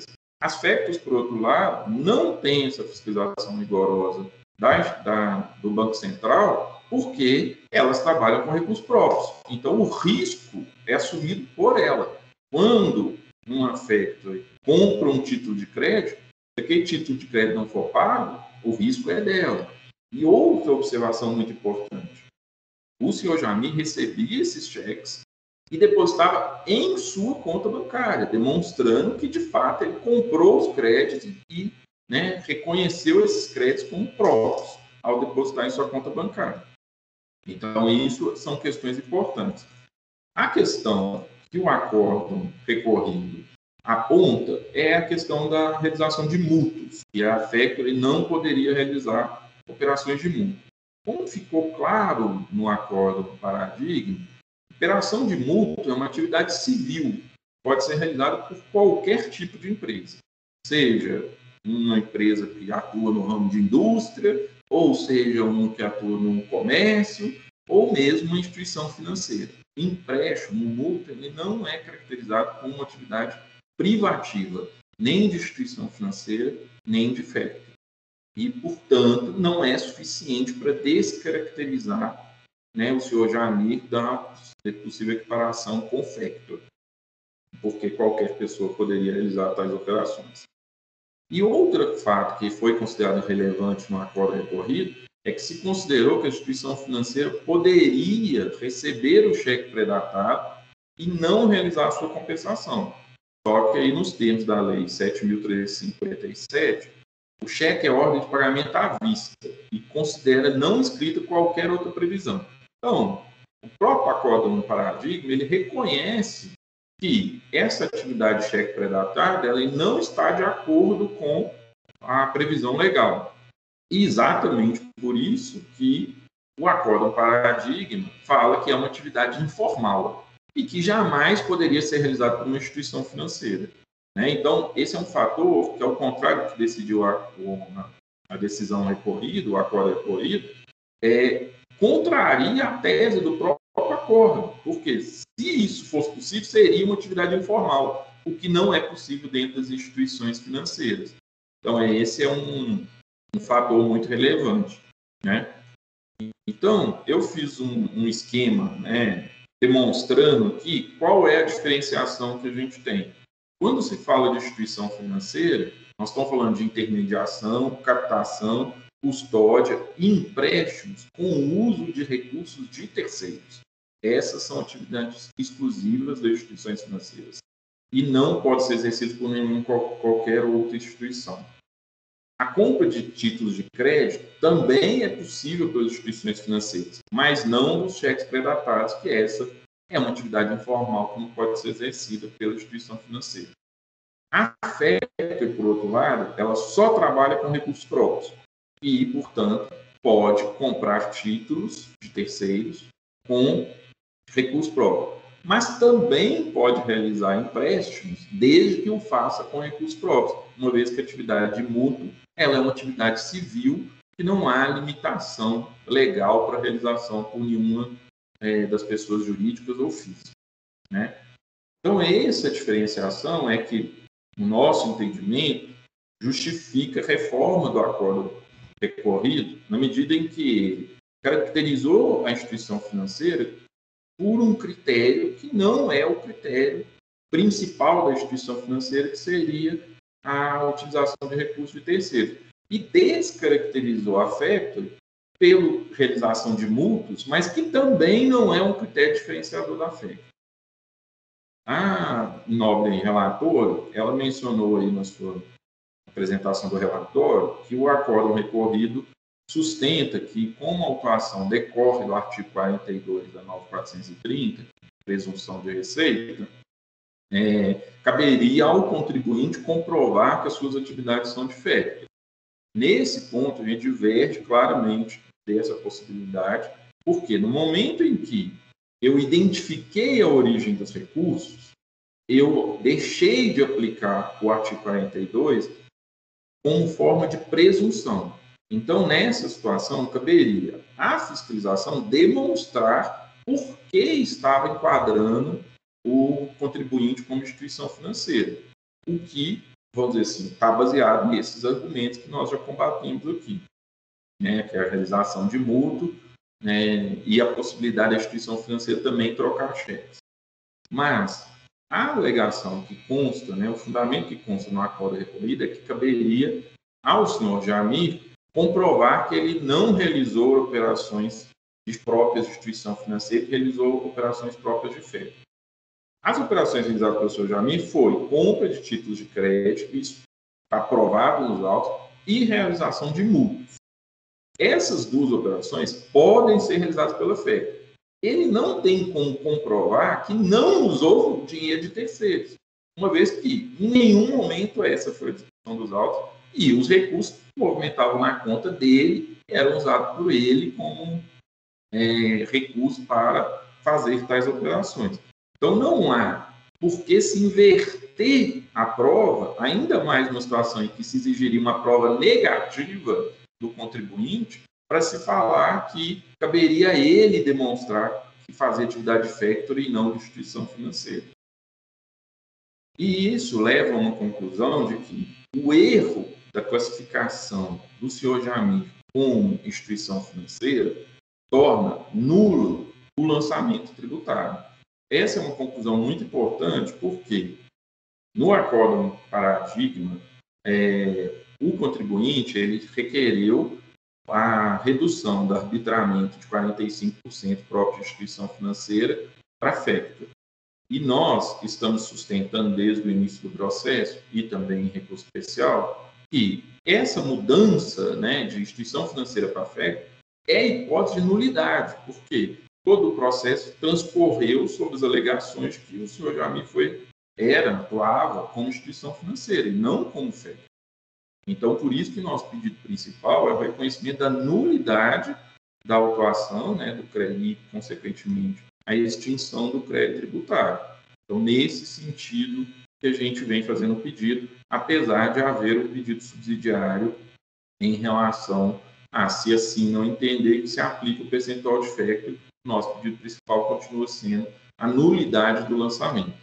Né? Na nossa visão, o que a fiscalização deveria ter sido feita, deveria ter feito na época, é se ela não conseguia comprovar que a operação era de instituição financeira ou factory, se isso não estava claro, ela deveria ter autuado o senhor Jamir como autuou em, outros, em outro processo como pessoa física. Ou seja, em relação às duas, duas contas bancárias do senhor Jamir, ele foi autuado como instituição financeira, aparentemente sem se conseguir comprovar que ele de fato atuava como instituição financeira, uma vez que ele não usava recurso terceiro. Em outras duas contas do próprio senhor Jamir, ele foi autuado como pessoa física com base no artigo 42 da 9430. Então, assim, se, a se o físico não conseguia fazer essa prova, não deveria ter autuado dessa forma deveria ter autuado com base no artigo 42, processo esse que já transcorreu no CAF e hoje está em dissídio judicial.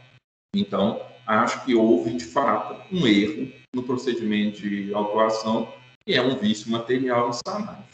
Então, presidente e demais conselheiros, é nesse sentido que a gente pede o provimento do recurso especial para reformar o acordo recorrido, reconhecendo a nulidade do auto de infração. É isso, excelência.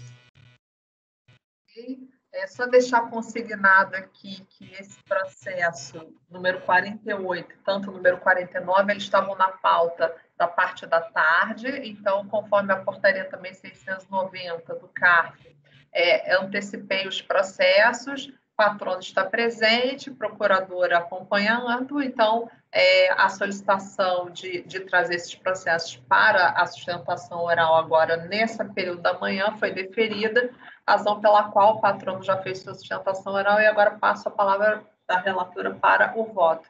Vamos votar o 48, conselheira, e depois a gente vai evoluindo na votação, tanto do 49 quanto do 39.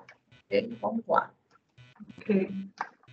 Primeiramente, parabenizo o patrono pela objetividade e completude da, da, da exposição em relação a uma temática complexa com várias, várias peculiaridades do caso concreto, mas antes temos de passar pela admissibilidade do recurso especial. É, então, no item, no voto do item 48, a admissibilidade parcial do recurso da, da contribuinte adotou como premissa que, para fins de equiparação à instituição financeira, o acórdão recorrido abraçou o entendimento de que as instituições financeiras também poderiam realizar trocas de cheques pré-datados em vista dos casos que foram comprovados pelo contribuinte. Assim, estaria evidenciado nos seguintes excertos de seu voto condutor é, conforme se depreende das normas subtranscritas, operações de crédito, entre outros, abarcam empréstimos, tal, tal, tal, tal, tal, os documentos relativos às situações descritas pelo impugnante anexados dão conta do relato a respeito da ocorrência de desconto de duplicatas e troca de cheques. Entretanto, além de limitadas a dois casos citados, tais operações não são de exclusividade da das empresas de factoring, podendo ser realizadas também por instituições financeiras. Isso porque a instituição financeira pode antecipar ao cliente o valor do duplicado ou do cheque pré-datado custodiado mediante um desconto sobre o valor nominal do título de crédito. E aí traz referência à resolução 214495. Essa construção, porém, representa fundamento subsidiário ou principal e determinante para a manutenção da exigência a contribuinte não logrou desfazer as constatações fiscais de que ela realizava operações de empréstimo mútuo para pessoas físicas ou jurídicas, utilizando-se das contas bancárias especificadas, similares às atividades típicas de instituições financeiras e que não podem ser exercidas por empresas de fomento mercantil. Veja-se, nesse sentido, a transcrição integral da argumentação que, deduzida pela autoridade julgadora de primeira instância, foi adotada pelo conselheiro Tozelli, nem me lembrava que era da sua relatoria, Tozelli, desculpa. Conforme se depreende das normas supertranscritas das operações de crédito, abarcam tais, tais, tais, e aí ah, é trazido aqui esse texto em destaque. Diferentemente das alegações do impugnante, não há nenhuma evidência da atuação da contribuinte como factor, uma vez que não ficou demonstrado que sua atividade compreende exclusivamente as atividades específicas acima assinaladas. É importante notar também que na impugnação não foi anexado nenhum documento que comprove sua atuação como empresa de factoring, tendo restringido o impugnante a relatar que fazia transações com cheques pré-datados e notas promissórias, sem que ficasse demonstrado que as supostas operações eram resultantes de vendas mercantis a prazo ou de prestação de serviço. Neste ponto, a única iniciativa do impugnante foi citar exemplos que, no seu entendimento, evidenciariam sua atividade como sendo factor. Assim, pensou das diversas diligências realizadas pela fiscalização os seguintes casos da empresa Bonet e Nelson Adriano. Os documentos relativos dão conta de troca de cheques, e aí o outro trecho em destaque. Em verdade, conforme relatado no TBF, no processo investigatório que antecedeu o presente lançamento, foi constatado que o contribuinte realizava operações de empréstimos para pessoas físicas, utilizando-se das contas bancárias especificadas. Nesse mesmo sentido, o próprio contribuinte, em resposta ao termo de intimação, assim se pronunciou. É, como já explicado, o informante realiza operações de mútuo com diversas pessoas, assim a movimentação financeira demonstra justamente essa grande movimentação, quando tais recursos não representam rendimentos, mas estão somente circulação de recursos, assim apresenta-se relatório de movimentação de comprovação da origem, o que demonstra que se trata justamente de operações de mútuo. Operações de mútuo, intermediação de recursos, é, que se diferenciam das aquisições de direito creditório, a teor das já mencionadas disposições do Código Civil, não figuram entre as atribuições das factorings, lembrando ainda que é vedado às pessoas físicas atuarem em atividades privativas de instituições financeiras sob pena de serem a elas equiparadas. Isso porque, de acordo com o 17 da 4595, equiparam-se as pessoas físicas que exerçam qualquer atividade referidas no artigo. Fato é que, tendo o contribuinte atuado em operações de mútuo com terceiros, não incluídas entre as atividades das empresas de factoring, ainda que tivessem é, também realizado desconto ou antecipação de valores pertinentes a títulos de crédito, está correto o procedimento caracterizado como instituição financeira. Dessa forma, pode-se concluir que fica afastada a tributação sob as regras de factoring. Quanto ao último parágrafo transcrito no exame de admissibilidade, foi extraído do voto condutor do acórdão 1201-1592, acho que esse é de relatoria do Caparrós, exarado em litígio semelhante instaurado pelo mesmo sujeito passivo e confrontado em recurso especial sobre julgamento nessa mesma sessão, e também pautado na inexistência de provas do, do exercício da atividade factoring. E aí vem a, a transcrição Quer dizer, só, só teve essa, como teve, como foram vários acórdons, né, e, e a transcrição não veio completa em todos, então a, o exame de admissibilidade acabou se pautando numa, numa referência que não é, é, que não reflete completamente o litígio dos autos. Já o paradigma, ao afirmar o entendimento de que as instituições financeiras não poderiam realizar troca de cheques predatados, teve em conta a acusação fiscal que, desde o início, constatou ser esta a atividade sujeito passivo, mas negou sua caracterização como factor. E aí transcrevo o relatório. Conforme TVF, a autoridade concluiu que a atividade econômica da contribuinte não seria factoring porque as características da movimentação bancária indicam que os recursos estavam empregados em atividade econômica de natureza comercial ou financeira, considerando seu elevadíssimo número de débitos e créditos, foram utilizados valores sacados para pagar dívida de terceiros, foram empregados valores sacados com deságio por cheques predatados, ah, todas essas, essas peculiaridades aí, desde o início a contribuinte se afirmava factoring, a fiscalização viu ali irregularidades nas operações com, com cheques, e o voto condutor, ele vem ah, do, do paradigma, vem dizer que ah, da, vem relatar nessa né, prática comum de trocas de, de cheques pré-datados, é, quando os estabelecimentos comerciais têm necessidade desses recursos. É, esse terceiro, normalmente, pessoa física ou jurídica, ao fazer dessa atividade seu negócio habitual, é, é, se perquire se é atividade fértil ou instituição financeira. Se ignorássemos a realidade da vida e nos ativéssemos somente ao texto da lei, diríamos que as instituições bancárias não recebem cheques pré-datados e que, pelo conceito da atividade factoring, factorizador, em caso de inadimplência do emitente do título, não poderia voltar-se contra o factorizado. No entanto, se ficássemos limitados aos conceitos e tivéssemos a real de que o cheque é a ordem de pagamento à vista, teríamos de afirmar que tal título, por não existir na lei, a figura do cheque pré-datado não se prestaria para desconto futuro com deságio, como ocorre, por exemplo, nas duplicatas a vencer. Para os efeitos da Lei 4595, deve ser compreendida por instituição aquela que tem atribuições de captar dinheiro no mercado para fins de depósito, remunerados, fazer aplicações, realizar intermediação, aplicação de recursos financeiros.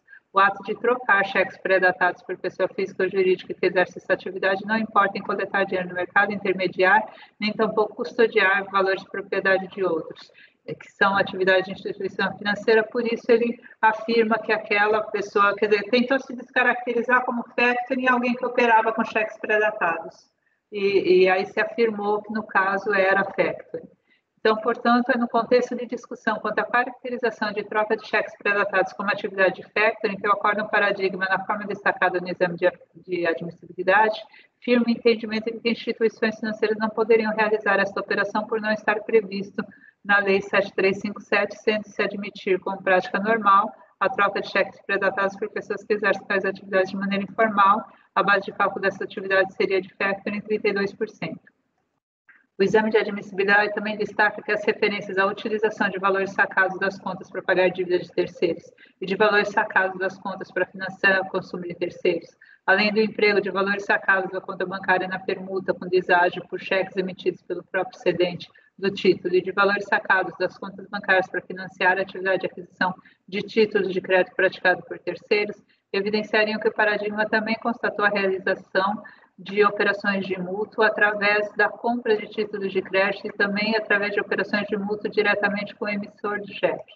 Contudo, nota-se pela transcrição da decisão de parcial procedência proferida em primeira instância naqueles autos que a base de cálculo autuada foi determinada mediante a aplicação do fator de desconto, diversamente do presente caso no qual a tributação recaiu sobre a totalidade da receita presumida a partir de depósitos bancários, vez que, apesar das evidências reunidas em diligências quanto à atividade de empréstimos exercida pelo sujeito passivo, ele não logrou correlacionar os depósitos com as contraprestações correspondentes.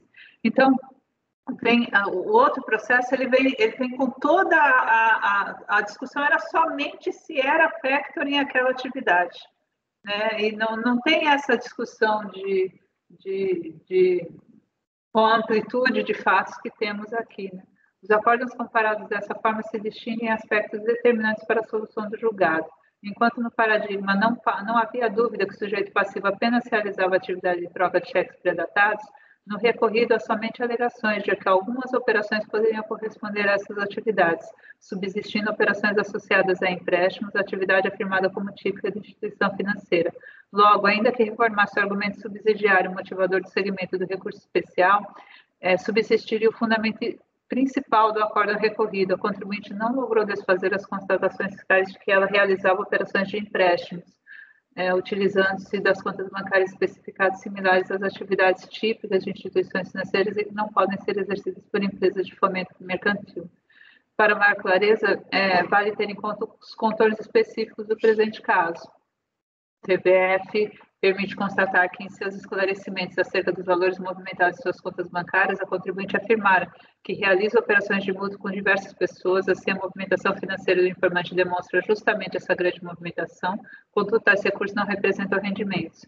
Assim, apresenta-se relatório das movimentações, vale mencionar que os valores de movimentações coincidem com os apresentados por essa fiscalização, porque se requer a verificação dos mesmos observando que tais esclarecimentos superficiais se referiam apenas à movimentação junto à CredPel e que a habitualidade das operações comerciais ensejariam a equiparação da pessoa física à pessoa jurídica para fins de tributação, além de diversas outras ponderações acerca da resposta dada a outros questionamentos dirigidos ao fiscalizado, a autoridade fiscal ainda traz em consignação a necessidade de, de comprovação mais específica para que essas, para que essas consequências aí não se verifiquem.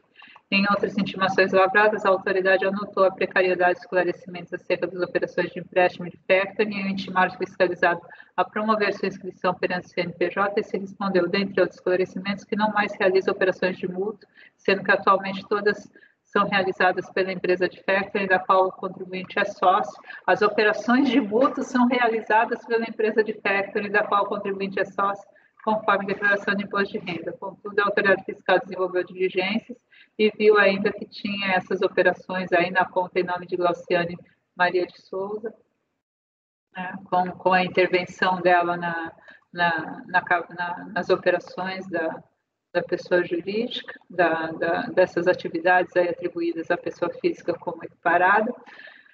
É, tem as referências aqui das folhas dos anexos. É este o contexto no qual a autoridade fiscal conclui, a partir da movimentação bancária identificada nas contas referidas e associadas de comprovação documental de regular operações realizadas, é, que restou caracterizado o indício autorizador da omissão de receita de depósito bancário, frequentes operações de empréstimos com remuneração, conforme consta, consta dos extratos bancários, né, tem essa evidência aí os valores movimentados nas demais contas bancárias que não evidenciariam é, atividades típicas de pessoa física foram submetidas à tributação de pessoa física, assim, diversamente do verificado no paradigma, nesses autos, a autoridade identificou a realização de empréstimos em operações autônomas distintas de troca de cheques, que poderiam ser eventualmente associados à atividade factoring.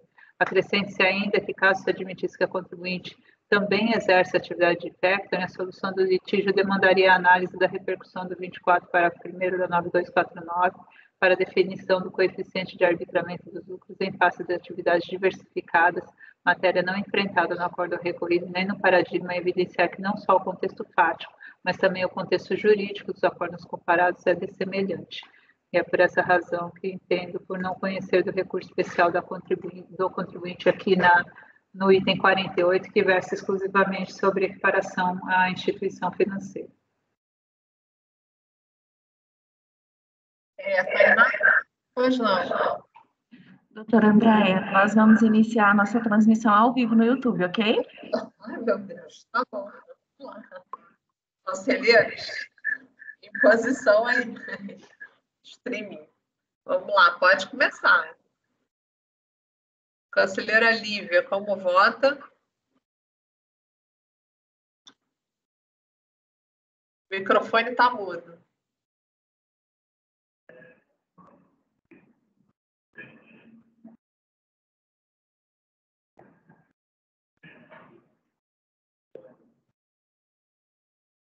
Está mudo.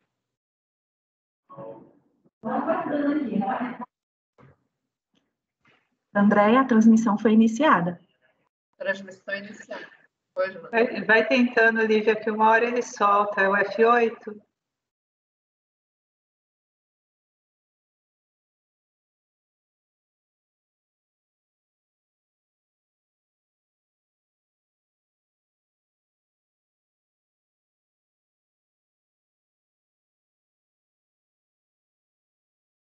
F8 ou F5?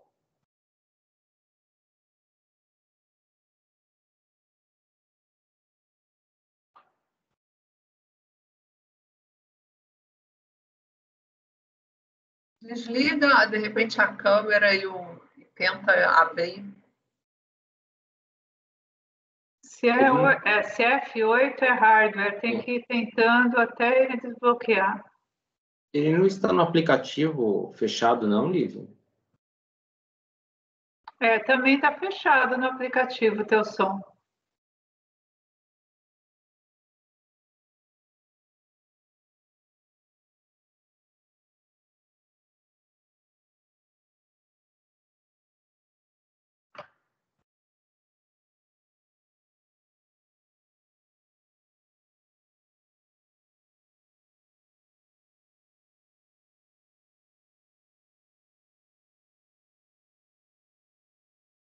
Fecha a câmera, vê se consegue, quando voltar, se des- destrava.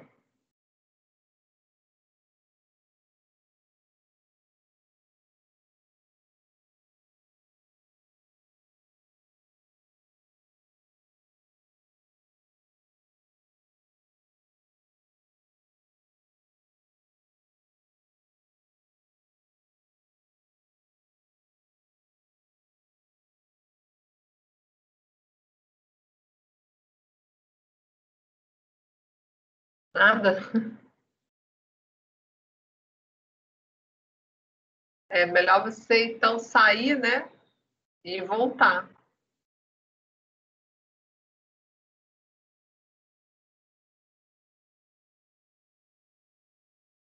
Não. Continua com o microfone.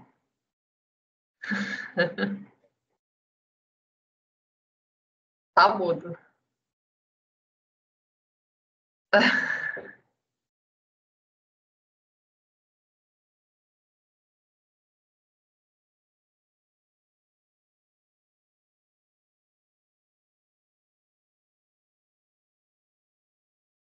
Acho que você é me- melhor.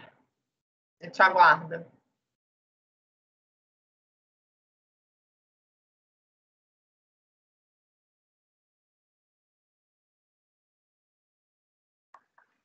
Estamos ao vivo na sala 1.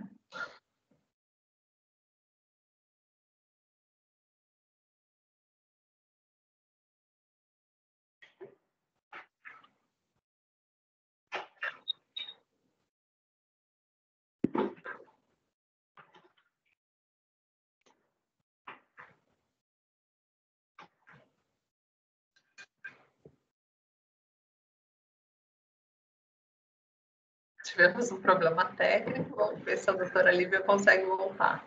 Deu agora? Ah, ótimo. Ah. É, deu que o microfone está mudo, não posso ativar. E não Tá. quis ativar. Bom, vamos lá. É, Então, voltando. Eu não estou vendo o patrono, mas ele está aí, né? Tá, tá. Estou vendo ele. É, parabenizo a doutora Edeli pela riqueza em detalhes no voto, mas não tenho não tenho como, como divergir, é, é, acompanhar a relatora integralmente. Fernando. Ah, presidente, eu também parabenizo o voto da conselheira Ideli e acompanho integralmente. Conselheiro Tozelli. Lembro bem desse caso, sim, na hora que eu já vi esse nome Jamir, eu falei, nossa, esse caso foi uma, uma briga muito boa lá, uma discussão muito rica, e o Caparrós já tinha analisado o primeiro, eu acho que é um desses três, e facilitou, então eu vim estudado, o Caparrós já tinha estudado, e realmente, assim, no primeiro lance de olhar, parece incomodar, você vê, parece que é factory mesmo, pessoa física, mas a hora que você vê a norma do Banco Central, é, é, notadamente o artigo 17 lá, essa operação de mútuo constante como atividade típica, torna mesmo contribuinte como, como instituição financeira. E aqui o paradigma que você bem citou aqui, para mim, é, é, muito claro, ele, ele conclui, é, né, no, não se pode confundir a captação, intermediação ou aplicação de recursos financeiros próprios ou de terceiros, que são atividades privativas das instituições financeiras, com a troca de cheques. E aí, depois, quando ele concentra na troca de cheques, para falar que é factoring. Então, você vê que até esse próprio precedente é, é, é, tenderia a equiparar esses mútuos constantes por pessoa física a uma atividade de instituição financeira. Então, definitivamente, eu entendo que esse paradigma ele não é hábil para caracterizar a alegada divergência, sim, e, e acompanho e parabenizo sempre, porque eu sei que esse caso não é fácil. Acompanho, presidente. Ok. Conselheiro Matozinho. Também quero render minhas homenagens aí a mais um voto muito bem detalhado, muito, fica muito clara a, a, configuração dos dois acórdãos e, e a, as diferenças né, entre eles, que não permitem, de fato, é, levar à conclusão de que a, o colegiado paradigma poderia decidir de maneira igual caso analisasse esse mesmo acordo, que tem outros elementos bastante distintos. Então, eu acompanho integralmente a relatora. Alexandre. Também parabenizo a relatora pelo excelente voto, aí, bem didático, e acompanho integralmente. Conselheiro Caio. Ah, parabenizo a Edeli, como sempre fez um trabalho espetacular, de grande clareza, e como bem posto, não, não existe margem aqui para divergência, motivo pelo qual acompanho. Ok, eu também acompanho a relatora, então negando conhecimento por unanimidade no 48. Aí, a, a, como é que a senhora quer fazer, doutora Edeli? Vamos fazer o 49 e o 39? Porque, né? É, o, o 49 ele é bem semelhante, eu acho que é interessante fazer na, na sequência, porque as distinções que temos aqui no, no voto do 49 são em razão do relator ter sido o conselheiro Caparrós. Né? Então, a estruturação do voto vem um pouco diferente, e aqui, claro, tem, tem o acréscimo da acusação fiscal, da, da movimentação bancária ter sido realizada nessa conta partilhada pra, pelo senhor Jamir e pela senhora Glauciane. Mas, em essência, né, a, a, aqui também é, a decisão foi em função da existência dessas operações de, de empréstimo para pessoa física, né? elas estão presentes em, em todas as, em, em, nos, no, nos três processos, né? E, e é ela que justifica a dessemelhança da mesma forma, então só tive que, que substituir algumas transcrições aqui, é, e as referências do, dos acréscimos feitos pelo, pelo conselheiro Tozelli, é, mas na, o, o voto do, do conselheiro Caparrós já, já se pautava nessa circunstância específica, então não, não, não, não foi necessário mais é, maiores construções aqui, só, só esse, praticamente ajustes geográficos, né, não de, de conteúdo.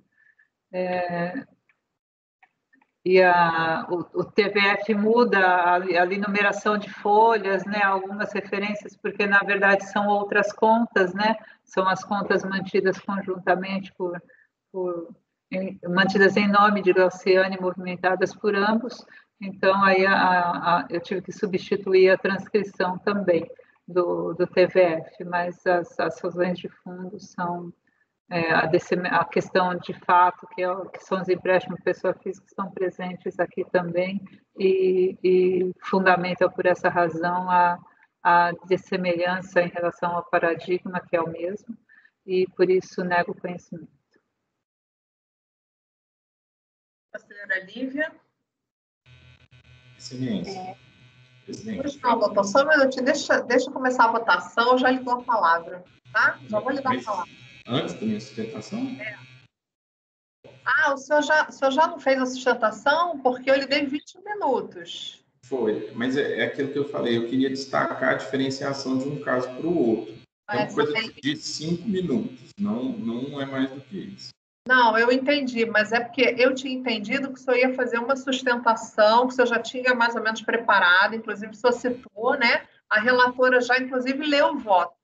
Ela não, ela já fez o relatório, os três relatórios e leu o voto agora. Então agora é hora da votação. Eu tinha entendido que o senhor usaria mais de 15 minutos, só precisou usar 21 minutos e o senhor faria sustentações orais.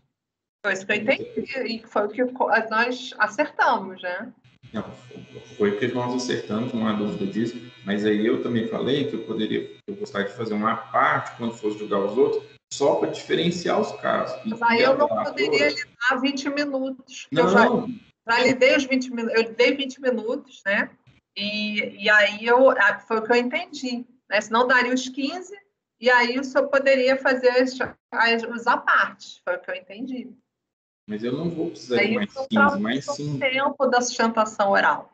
Né? Eu vou lhe dar, vou lhe dar três minutos aí para o senhor fazer o esclarecimento e, e vamos em frente. Então, excelência, obrigado. Eu agradeço aí a disponibilidade para me ouvir. É, eu gostaria de ressaltar o caso, né? agora nós estamos no julgamento do processo 49 e do 39, e esse, vamos dizer assim, são os dois processos que são vinculados que são movimentações na conta da senhora Glauciane e não mais na conta do senhor Jamil. Nessa conta da senhora Glauciane, a fiscalização atribuiu 50% da movimentação ao senhor Jamil e 50% à senhora Glauciane. É, como né, o voto condutor do processo 48 da pauta ele está caminhando sem de não admissão do recurso, eu gostaria de destacar que no recurso especial interposto, no, em ambos os três processos, na verdade, mas inclusive nesse do item 49, há um trecho do, do, do, do acordo paradigma em que o, o relator ele destaca todas as operações que foram realizadas no acordo paradigma. Né? Dentre as operações estão lá é, foram utilizados valores sacados das contas bancárias para financiar consumos de terceiros foram empregados os valores sacados das contas bancárias na permuta com deságio por cheque. Foram utilizados valores sacados nas contas bancárias para pagar dívidas de terceiros. Então, é, com a discussão aqui é da, de, obviamente, da divergência jurisprudencial, vê-se que tem, existe um trecho do acordo paradigma em que se destaca também a realização de empréstimos, valores sacados em contas bancárias para pagamento de dívidas de terceiros ou para financiar consumo de terceiros.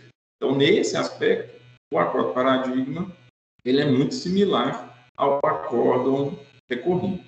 É esse ponto que eu gostaria de destacar aí para chamar a atenção de Vossa Excelência. E eu agradeço mais uma vez, presidente.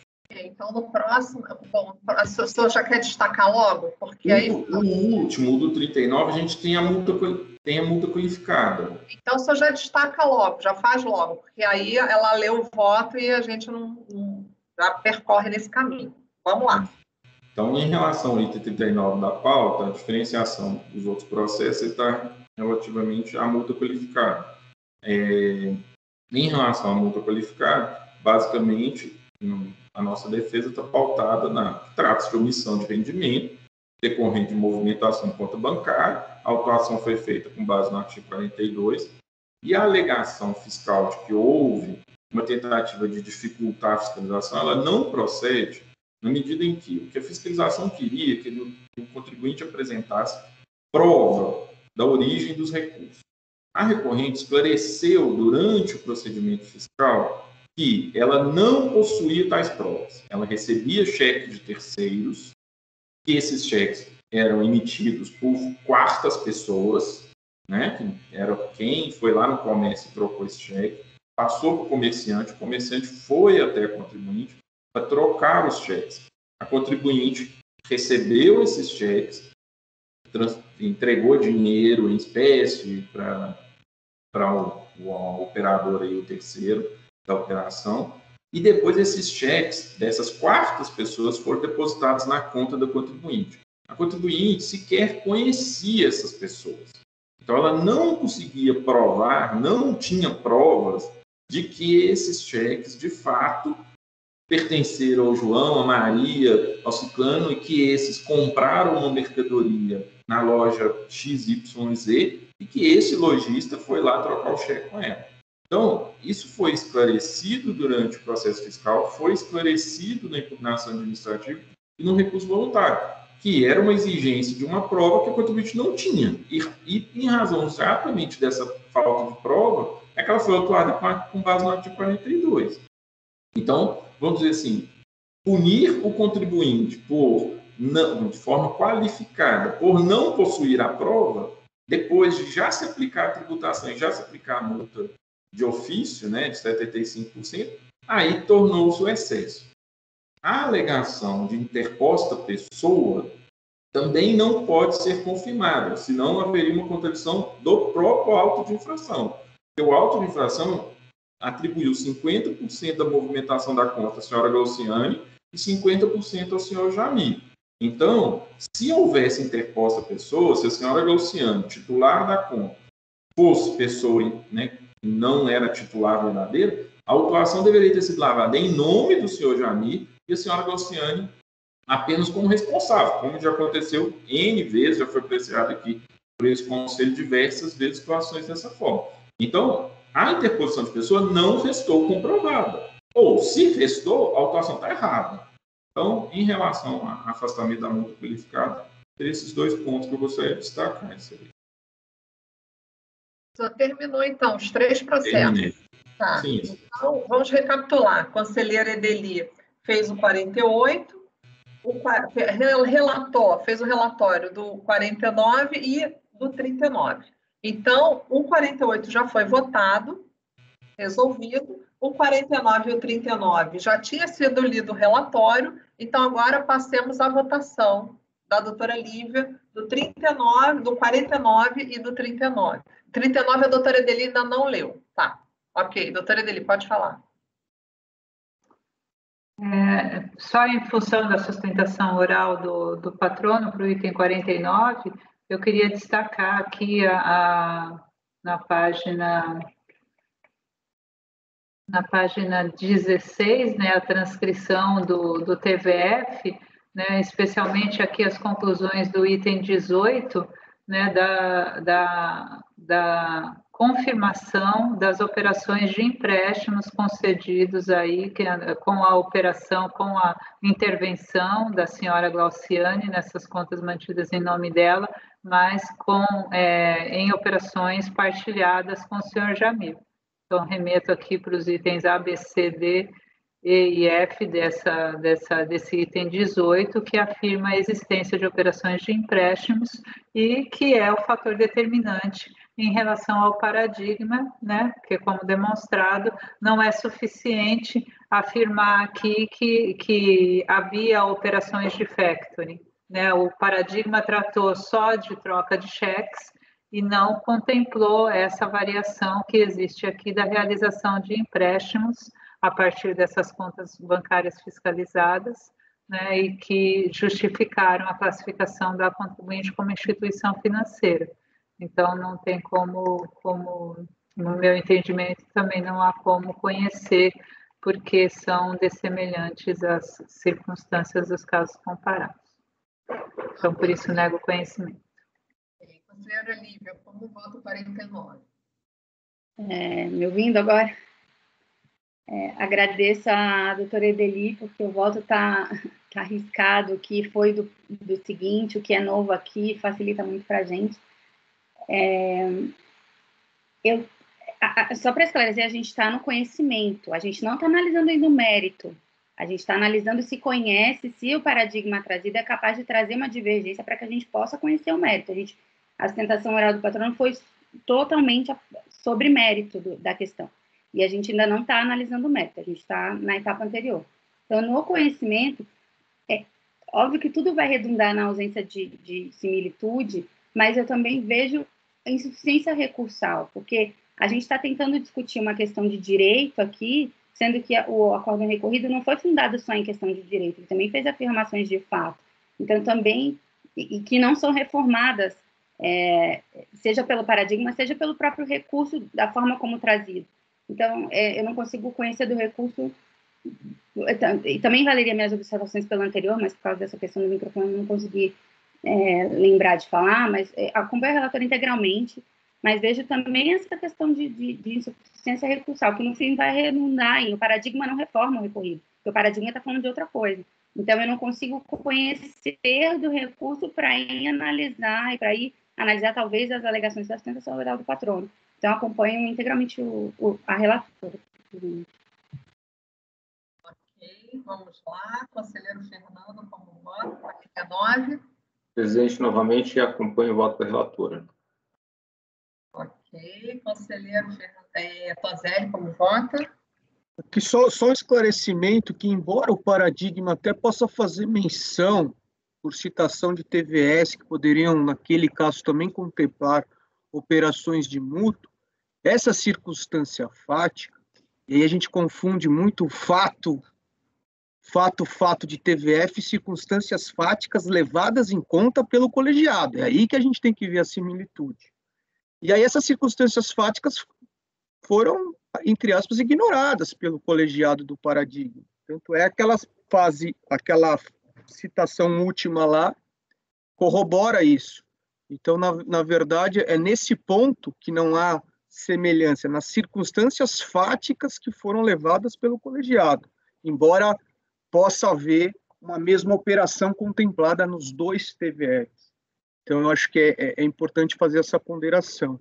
E, mais uma vez, aí, é, é um voto digno de aplausos, facilita muito a vida do colegiado, ainda mais essa agora técnica nova da IDELI, de usar o mesmo esqueleto com marcas de revisão, tudo em prol. Tem 20 anos, tá vendo? Do colegiado. Muito bom, Edeli. Acompanho na íntegra seu voto.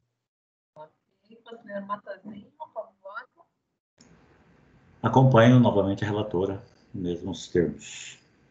Quero Alexandre, como vota? Também acompanho a relatora. Conselheiro Caio, como vota? Com a relatora novamente. Eu também. Então, negado conhecimento por unanimidade, o 49. Agora vamos para o 39, relatora. Voto. É, na, no primeiro ponto, que é de equiparação à instituição financeira, como, como são é, é a mesma acusação fiscal desse anterior, né, a conta partilhada entre os dois, é, então, não, não é, tudo que foi dito lá se aplica aqui, não há distinção com o voto apresentado no, no item 48, nada de, de relevante. É, só mudança de referência de folhas, e aí vou Vou concluir aqui na página, na página 23 por negar conhecimento nesse ponto. Aí vou passar a leitura da, do ponto da multa qualificada. É, foi admitido em face apenas do recurso especial interposto por Glauciane, é, o exame de admissibilidade assevera que a similitude com o paradigma 2202-02734. No referido julgado, tem-se que por dois anos consecutivos o fisco afirmou não recolhidos os tributos por pessoas por pessoa física em razão de depósito bancário de origem não comprovada. O lançamento se prestou a constituir débitos de IRPF com imputação de responsabilidade solidária aos filhos e netos da autuada, que juntamente com ela teriam movimentado as contas bancárias, mas não lograram comprovar a origem da maior parte dos valores depositados. Diante desse contexto, o colegiado do paradigma acolheu o entendimento assim expresso no voto condutor. É, segundo a fiscalização, a recorrente teria omitido receitas vultosas, adotando conduta no sentido de impedir o lançamento e retardar o conhecimento por parte da autoridade fazendária, e não obstante respeitável entendimento da autoridade fiscalizadora, não vejo circunstâncias que caracterizem evidente de fraude da senhora Dulce. Entendo que configura-se como simulação o comportamento do contribuinte em que se detecta inadequação ou inequivalência entre a forma jurídica sob a qual o negócio se apresenta e a substância ou natureza do fato gerador efetivamente realizado, ou seja, dá-se pela discrepância entre a vontade querida pelo agente e o ato por ele praticado. No caso concreto, não tenho como presumir que a conduta foi levada de vício, mas tão somente de omitir do fisco conhecimento de fato relevante, a simples omissão, súmula 14. Registro que o caso dos filhos e neto, nos casos, o caso dos filhos e neto, meu entendimento seria divergente e que um eventual lançamento contra os mesmos deveria ser acompanhado de multa qualificada, tendo em vista, no caso dos mesmos, a utilização da senhora Dulce Vieira como interposta pessoa. Assim, por se tratar de presunção de omissão de receita, concluiu-se que não seria possível presumir a fraude, ressalvando-se que a multa qualificada somente teria pertinência em lançamento contra os que se utilizaram da conta bancária da autuada como interposta pessoa. No presente caso, também há outro beneficiário das operações realizadas em nome de Glauciane Maria de Souza e a autuação a indicou como sujeito passivo, embora tenha promovido a tributação mediante sua equiparação à pessoa jurídica e não como pessoa física, Contudo, analisando a acusação, o colegiado qual manteve a qualificação da penalidade sob os fundamentos, aí invocando o que foi dito, né, o volume da movimentação, a, os fortes indícios de pertencer à interposta pessoa, é, propósito deliberado de impedir ou retardar, podemos apurar 38 milhões, ah, aqui uma especificação quanto ao dispositivo legal e sua revogação especificamente. Vamos lá, para na sequência. Dessa forma, o voto condutor do acordo recorrido reproduz os motivos enunciados pela autoridade fiscal para a qualificação da penalidade. Recusa de apresentar extratos, uso de contas correntes em nome de apenas um titular para uso coletivo de duas pessoas, sendo movimentado por procuradores para mascarar a movimentação da segunda pessoa, valores de receitas omitidas de 38 milhões, inexpressividade dos rendimentos declarados pela Glauciane em caixa de isenção de imposto de renda, fortes indícios dessa conta pertencer à pessoa interposta, prática de operações é, exclusivas de instituição financeira registradas e autorizadas pelo Banco Central do Brasil, e embora destaque para a manutenção da qualificação a conduta reiterada e o volume de operações não escrituradas, a referência aos atos praticados pelos solidários permite concluir que todas as condutas descritas foram consideradas como determinantes para a majoração da penalidade. Disso se conclui que há substancial dessemelhança entre o recorrido e o paradigma, que não reporta a prática de operações em volume indicativo de atividades empresariais e características de instituições financeiras, associada à declaração é, ínfima de rendimentos com pessoa física, além da postura de dificultar o procedimento, apesar da movimentação vultosa de recursos em conta bancária de titularidade da autuada, em conjunto com outros operadores, dissociada da comprovação da origem dos valores. Impossível assim cogitar como decidiria o colegiado que proferiu o paradigma se estivesse diante da acusação com contornos semelhantes aos presentes nesse caso. Então, no paradigma, há uma, uma, indicação clara de que a conta bancária foi posta lá em nome da avó e movimentada pelas outras pessoas e autuada em nome da avó, e aí a qualificação da, da, da penalidade foi afastada, se ressalvando justamente que se lançasse em face de quem efetivamente havia operado, a qualificadora seria mantida. Né? Não tem semelhança nenhuma com as circunstâncias aqui. O único ponto é, que se coloca é que, é, a, a, a, aqui no caso, a Glauciane foi a titular da conta, como pessoa física, disso que se operou, é, é, onde, se, onde se, houve, ocorreram as operações que foram equiparadas à pessoa jurídica. Então, é um contexto muito dessemelhante. E com referência ao paradigma 1402-442, já se demonstrou a inexistência de similitude na divergência precedente. Quanto à qualificação da penalidade, restou ali consignado que, O caso concreto revela a situação daquela pessoa física que dispõe de alguns recursos para realizar como atividade profissional a troca de cheques em nome próprio, utilizando conta bancária de que é titular, sem constituir pessoa jurídica para tal e sem apresentar declaração de imposto de renda. Diz o relatório fiscal em relação ao ano 2004 que a recorrente apresentou declaração sem informar rendimentos. No entanto, não localizei a referida declaração. Então, o argumento vem porque não apresentou, não apresentou as declarações como pessoa jurídica, apesar de estar numa, numa prática reiterada aí de, é, com habitualidade que exigiria essa, essa situação numa profissão de troca de cheques. E por isso que se afastou a penalidade. Nota-se no delineamento da conduta desse sujeito passivo a indicação de inexpressividade das operações, pessoa física que dispõe de alguns recursos e a observação de que elas foram realizadas em nome próprio, utilizando conta bancária de que é titular, aspectos que distanciam tal caso do presente, no qual a significância dos valores movimentados e a associação a outra pessoa física para a realização das atividades, além de sua identificação como instituição financeira, determinaram a manutenção da qualificação da penalidade. É bom recordar que no TVF traz toda uma estrutura organizada né, de pessoas que faziam a captação desses, desses clientes né, que operavam esses empréstimos, né, tem todas essas referências lá no TVF como já consignado na matéria precedente, para comparação de interpretações e constatação de divergência, é indispensável que situações fáticas semelhantes tenham sido decididas nos acordos confrontados, não é possível, no presente caso, afirmar que as circunstâncias agregadas à acusação nesses autos seriam indiferentes para a manutenção é, da qualificação da penalidade no paradigma, e por isso também nego conhecimento nesse ponto, e preciso corrigir a emenda que, que ficou como divergência caracterizada ao invés de não caracterizada nesse ponto. Então, aqui para as duas, eu nego conhecimento. Doutora Lívia, vota?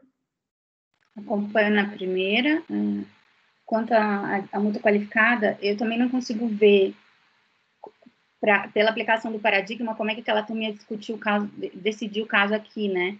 São tantas circunstâncias aqui, no caso dos autos e lá diferentes, que a gente não consegue ver divergência mesmo. Então, como bem explicado no voto da relatora, acompanho integralmente o não conhecimento também quanto a essa matéria. Conselheiro Fernando.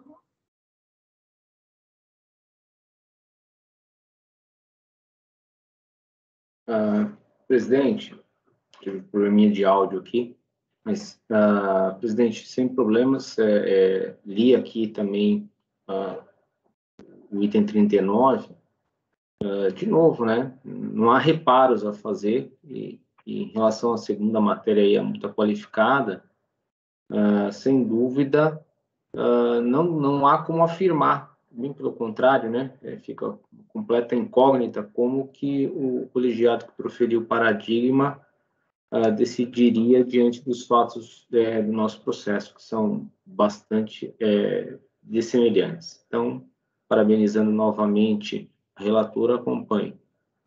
Ok. Conselheiro Tozelli, como vota? Eu acompanho a relatora, presidente. Conselheiro Matozinho, como vota? Acompanha a relatora. Conselheiro Alexandre, como vota? Com a relatora também, presidente. Conselheiro Caio, como vota? Com a relatora novamente. Eu também, então, negado conhecimento por unanimidade, também no 39. Então, 48, 49, 39, negado conhecimento por unanimidade. Ok, doutor? Tudo de bom aí, muita saúde, muita paz. Obrigada aí pelo pela sua poder de síntese e por nos é, né, estar conosco aí nessa sessão aí teste do streaming do CARF. Agradeço também, presidente, Vossa Excelência e os demais conselheiros aí. Um bom trabalho. Tchau, tchau.